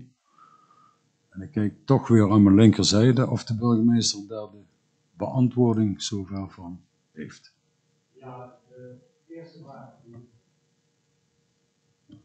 De eerste vraag van de PGP die gaat over de operationaliteit, nieuw beleid. Wat betekent corona voor het ambtelijk apparaat en de effectiviteit ervan? Ja, eh, laat ik zo zeggen, wij hebben geen signalen dat dat anders is dan voorheen. Natuurlijk heb je wel dat je wat mist, de contacten met mensen, maar tegenwoordig gaat alles via het beeldscherm. Daar wordt eh, goed op gelet. Als dan gezegd wordt in allerlei stukken van de vertraging ligt aan corona, dan kan dat zo zijn. En dat heeft dan te maken met grotere bijeenkomsten of dat soort zaken, dat die niet hebben plaatsgevonden. Maar op zichzelf, in de ambtenarij wordt gewoon eh, doorgewerkt. Hebben we ook met teamleiders, maar daar zit naast mij de algemeen directeur, de gesprekken van hoe bewaken we nou dat iedereen eh, ja, ook zijn output heeft en zijn outcome. En volgens mij, en dat hoor je ook in de krant overal, straks hebben we door deze periode wel iets erbij, waardoor we mensen wat flexibeler kunnen laten werken. Het is ook in emancipatorische omstandigheden zou dat wel eens breed kunnen zijn. Dan staat er een, iets over de dierenambulance. Daar eh, heb ik een bericht ontvangen, dat moet mevrouw Voermer goed doen, dat wij pogen per 1 januari eh, daarbij aan te sluiten, ook voor wilde dieren. Daar wordt nu aan een contract, dan moeten we kijken wat dat kost, moeten we het geld vinden. Maar dat is wel de intentie. Eigenlijk wordt het ook niet in mijn portefeuille, is dat sociaal domein, hebben ze me verteld. Ik vind het toch niet erg dat u het antwoord geeft hier, want ik ben er blij mee. Dank u wel. Dus in die zin is het wel. eh, en de andere vraag had ik, meen ik, straks al beantwoord. Of? Nee, er was nog eentje van de VVD. De klachten over de hondenpoep. Die heeft u inderdaad al beantwoord. Alleen onze, ja, ons voorstel om misschien wat meer van die hondenpoep afvalbakken er neer te zetten als de aanlijnplicht wordt eh, beperkt. Maar goed, dat moet u maar kijken. Dan moet ik u weer naar de andere commissie verwijzen. Ja. Mevrouw Film. Ik wil er toch even op reageren. Ik heb zelf ook altijd honden gehad en daar gaat het niet om. En die poep ook wel eens ergens. Eh, maar we hebben eigenlijk tijdens de begrotingsvergadering afgesproken dat we zullen gaan kijken als gemeente om hondenbelasting af te schaffen. Dus als we daar voorstander van zijn, dan is het eigenlijk een beetje raar om dan nu te vragen voor extra voorzieningen, want dan moeten we kijken uit welke pot gaan we die betalen. Ik zeg niet dat ze er niet mogen komen, maar dat moeten we wel in ons achterhoofd houden als we de hondenbelasting af willen gaan schaffen. Meneer Kleine. Ja, die, motie dat wordt onderzocht. Alleen eh, eh, als we het hebben over afvalbakken. In alle afvalbakken wat we hebben in deze gemeente. Dus we hebben niet alleen maar debepakken voor honden. In alle afvalbakken, met mensen het in het zakje doen, mag je honden uitwerpen. Mevrouw Roding. Dat is voor mij voldoende. Oké, dank u wel. Meneer Blom. En nabrander. Ja, eh, die afvalbakken die zijn er ook eigenlijk in voldoende aanwezigheid. Maar ik eh, kan u verzekeren dat het ook nog heel veel op andere plaatsen gedumpt wordt. Bijvoorbeeld in heggen. En dat, eh, ja. Dus nog meer bakken, ik denk niet dat dat veel uithaalt. Maar dat weet ik niet. Trouwens, het gooien mensen erin, dat doen honden zelf niet. Hè? Oké. Nou.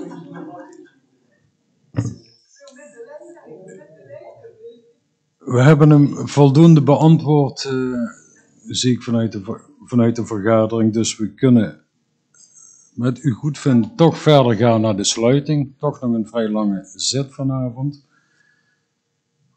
Ik zou deze vergadering willen sluiten en ik kijk even naar mijn rechterzijde. Die meneer Laume, dit is een, een poorhouder, zeggen we bij jou staan. Hij is geïnteresseerd blijven luisteren. Ik zou u willen danken voor uw constructieve inbreng vanavond en aansluitend veel plezier met de vergadering van het presidium. Dank u wel.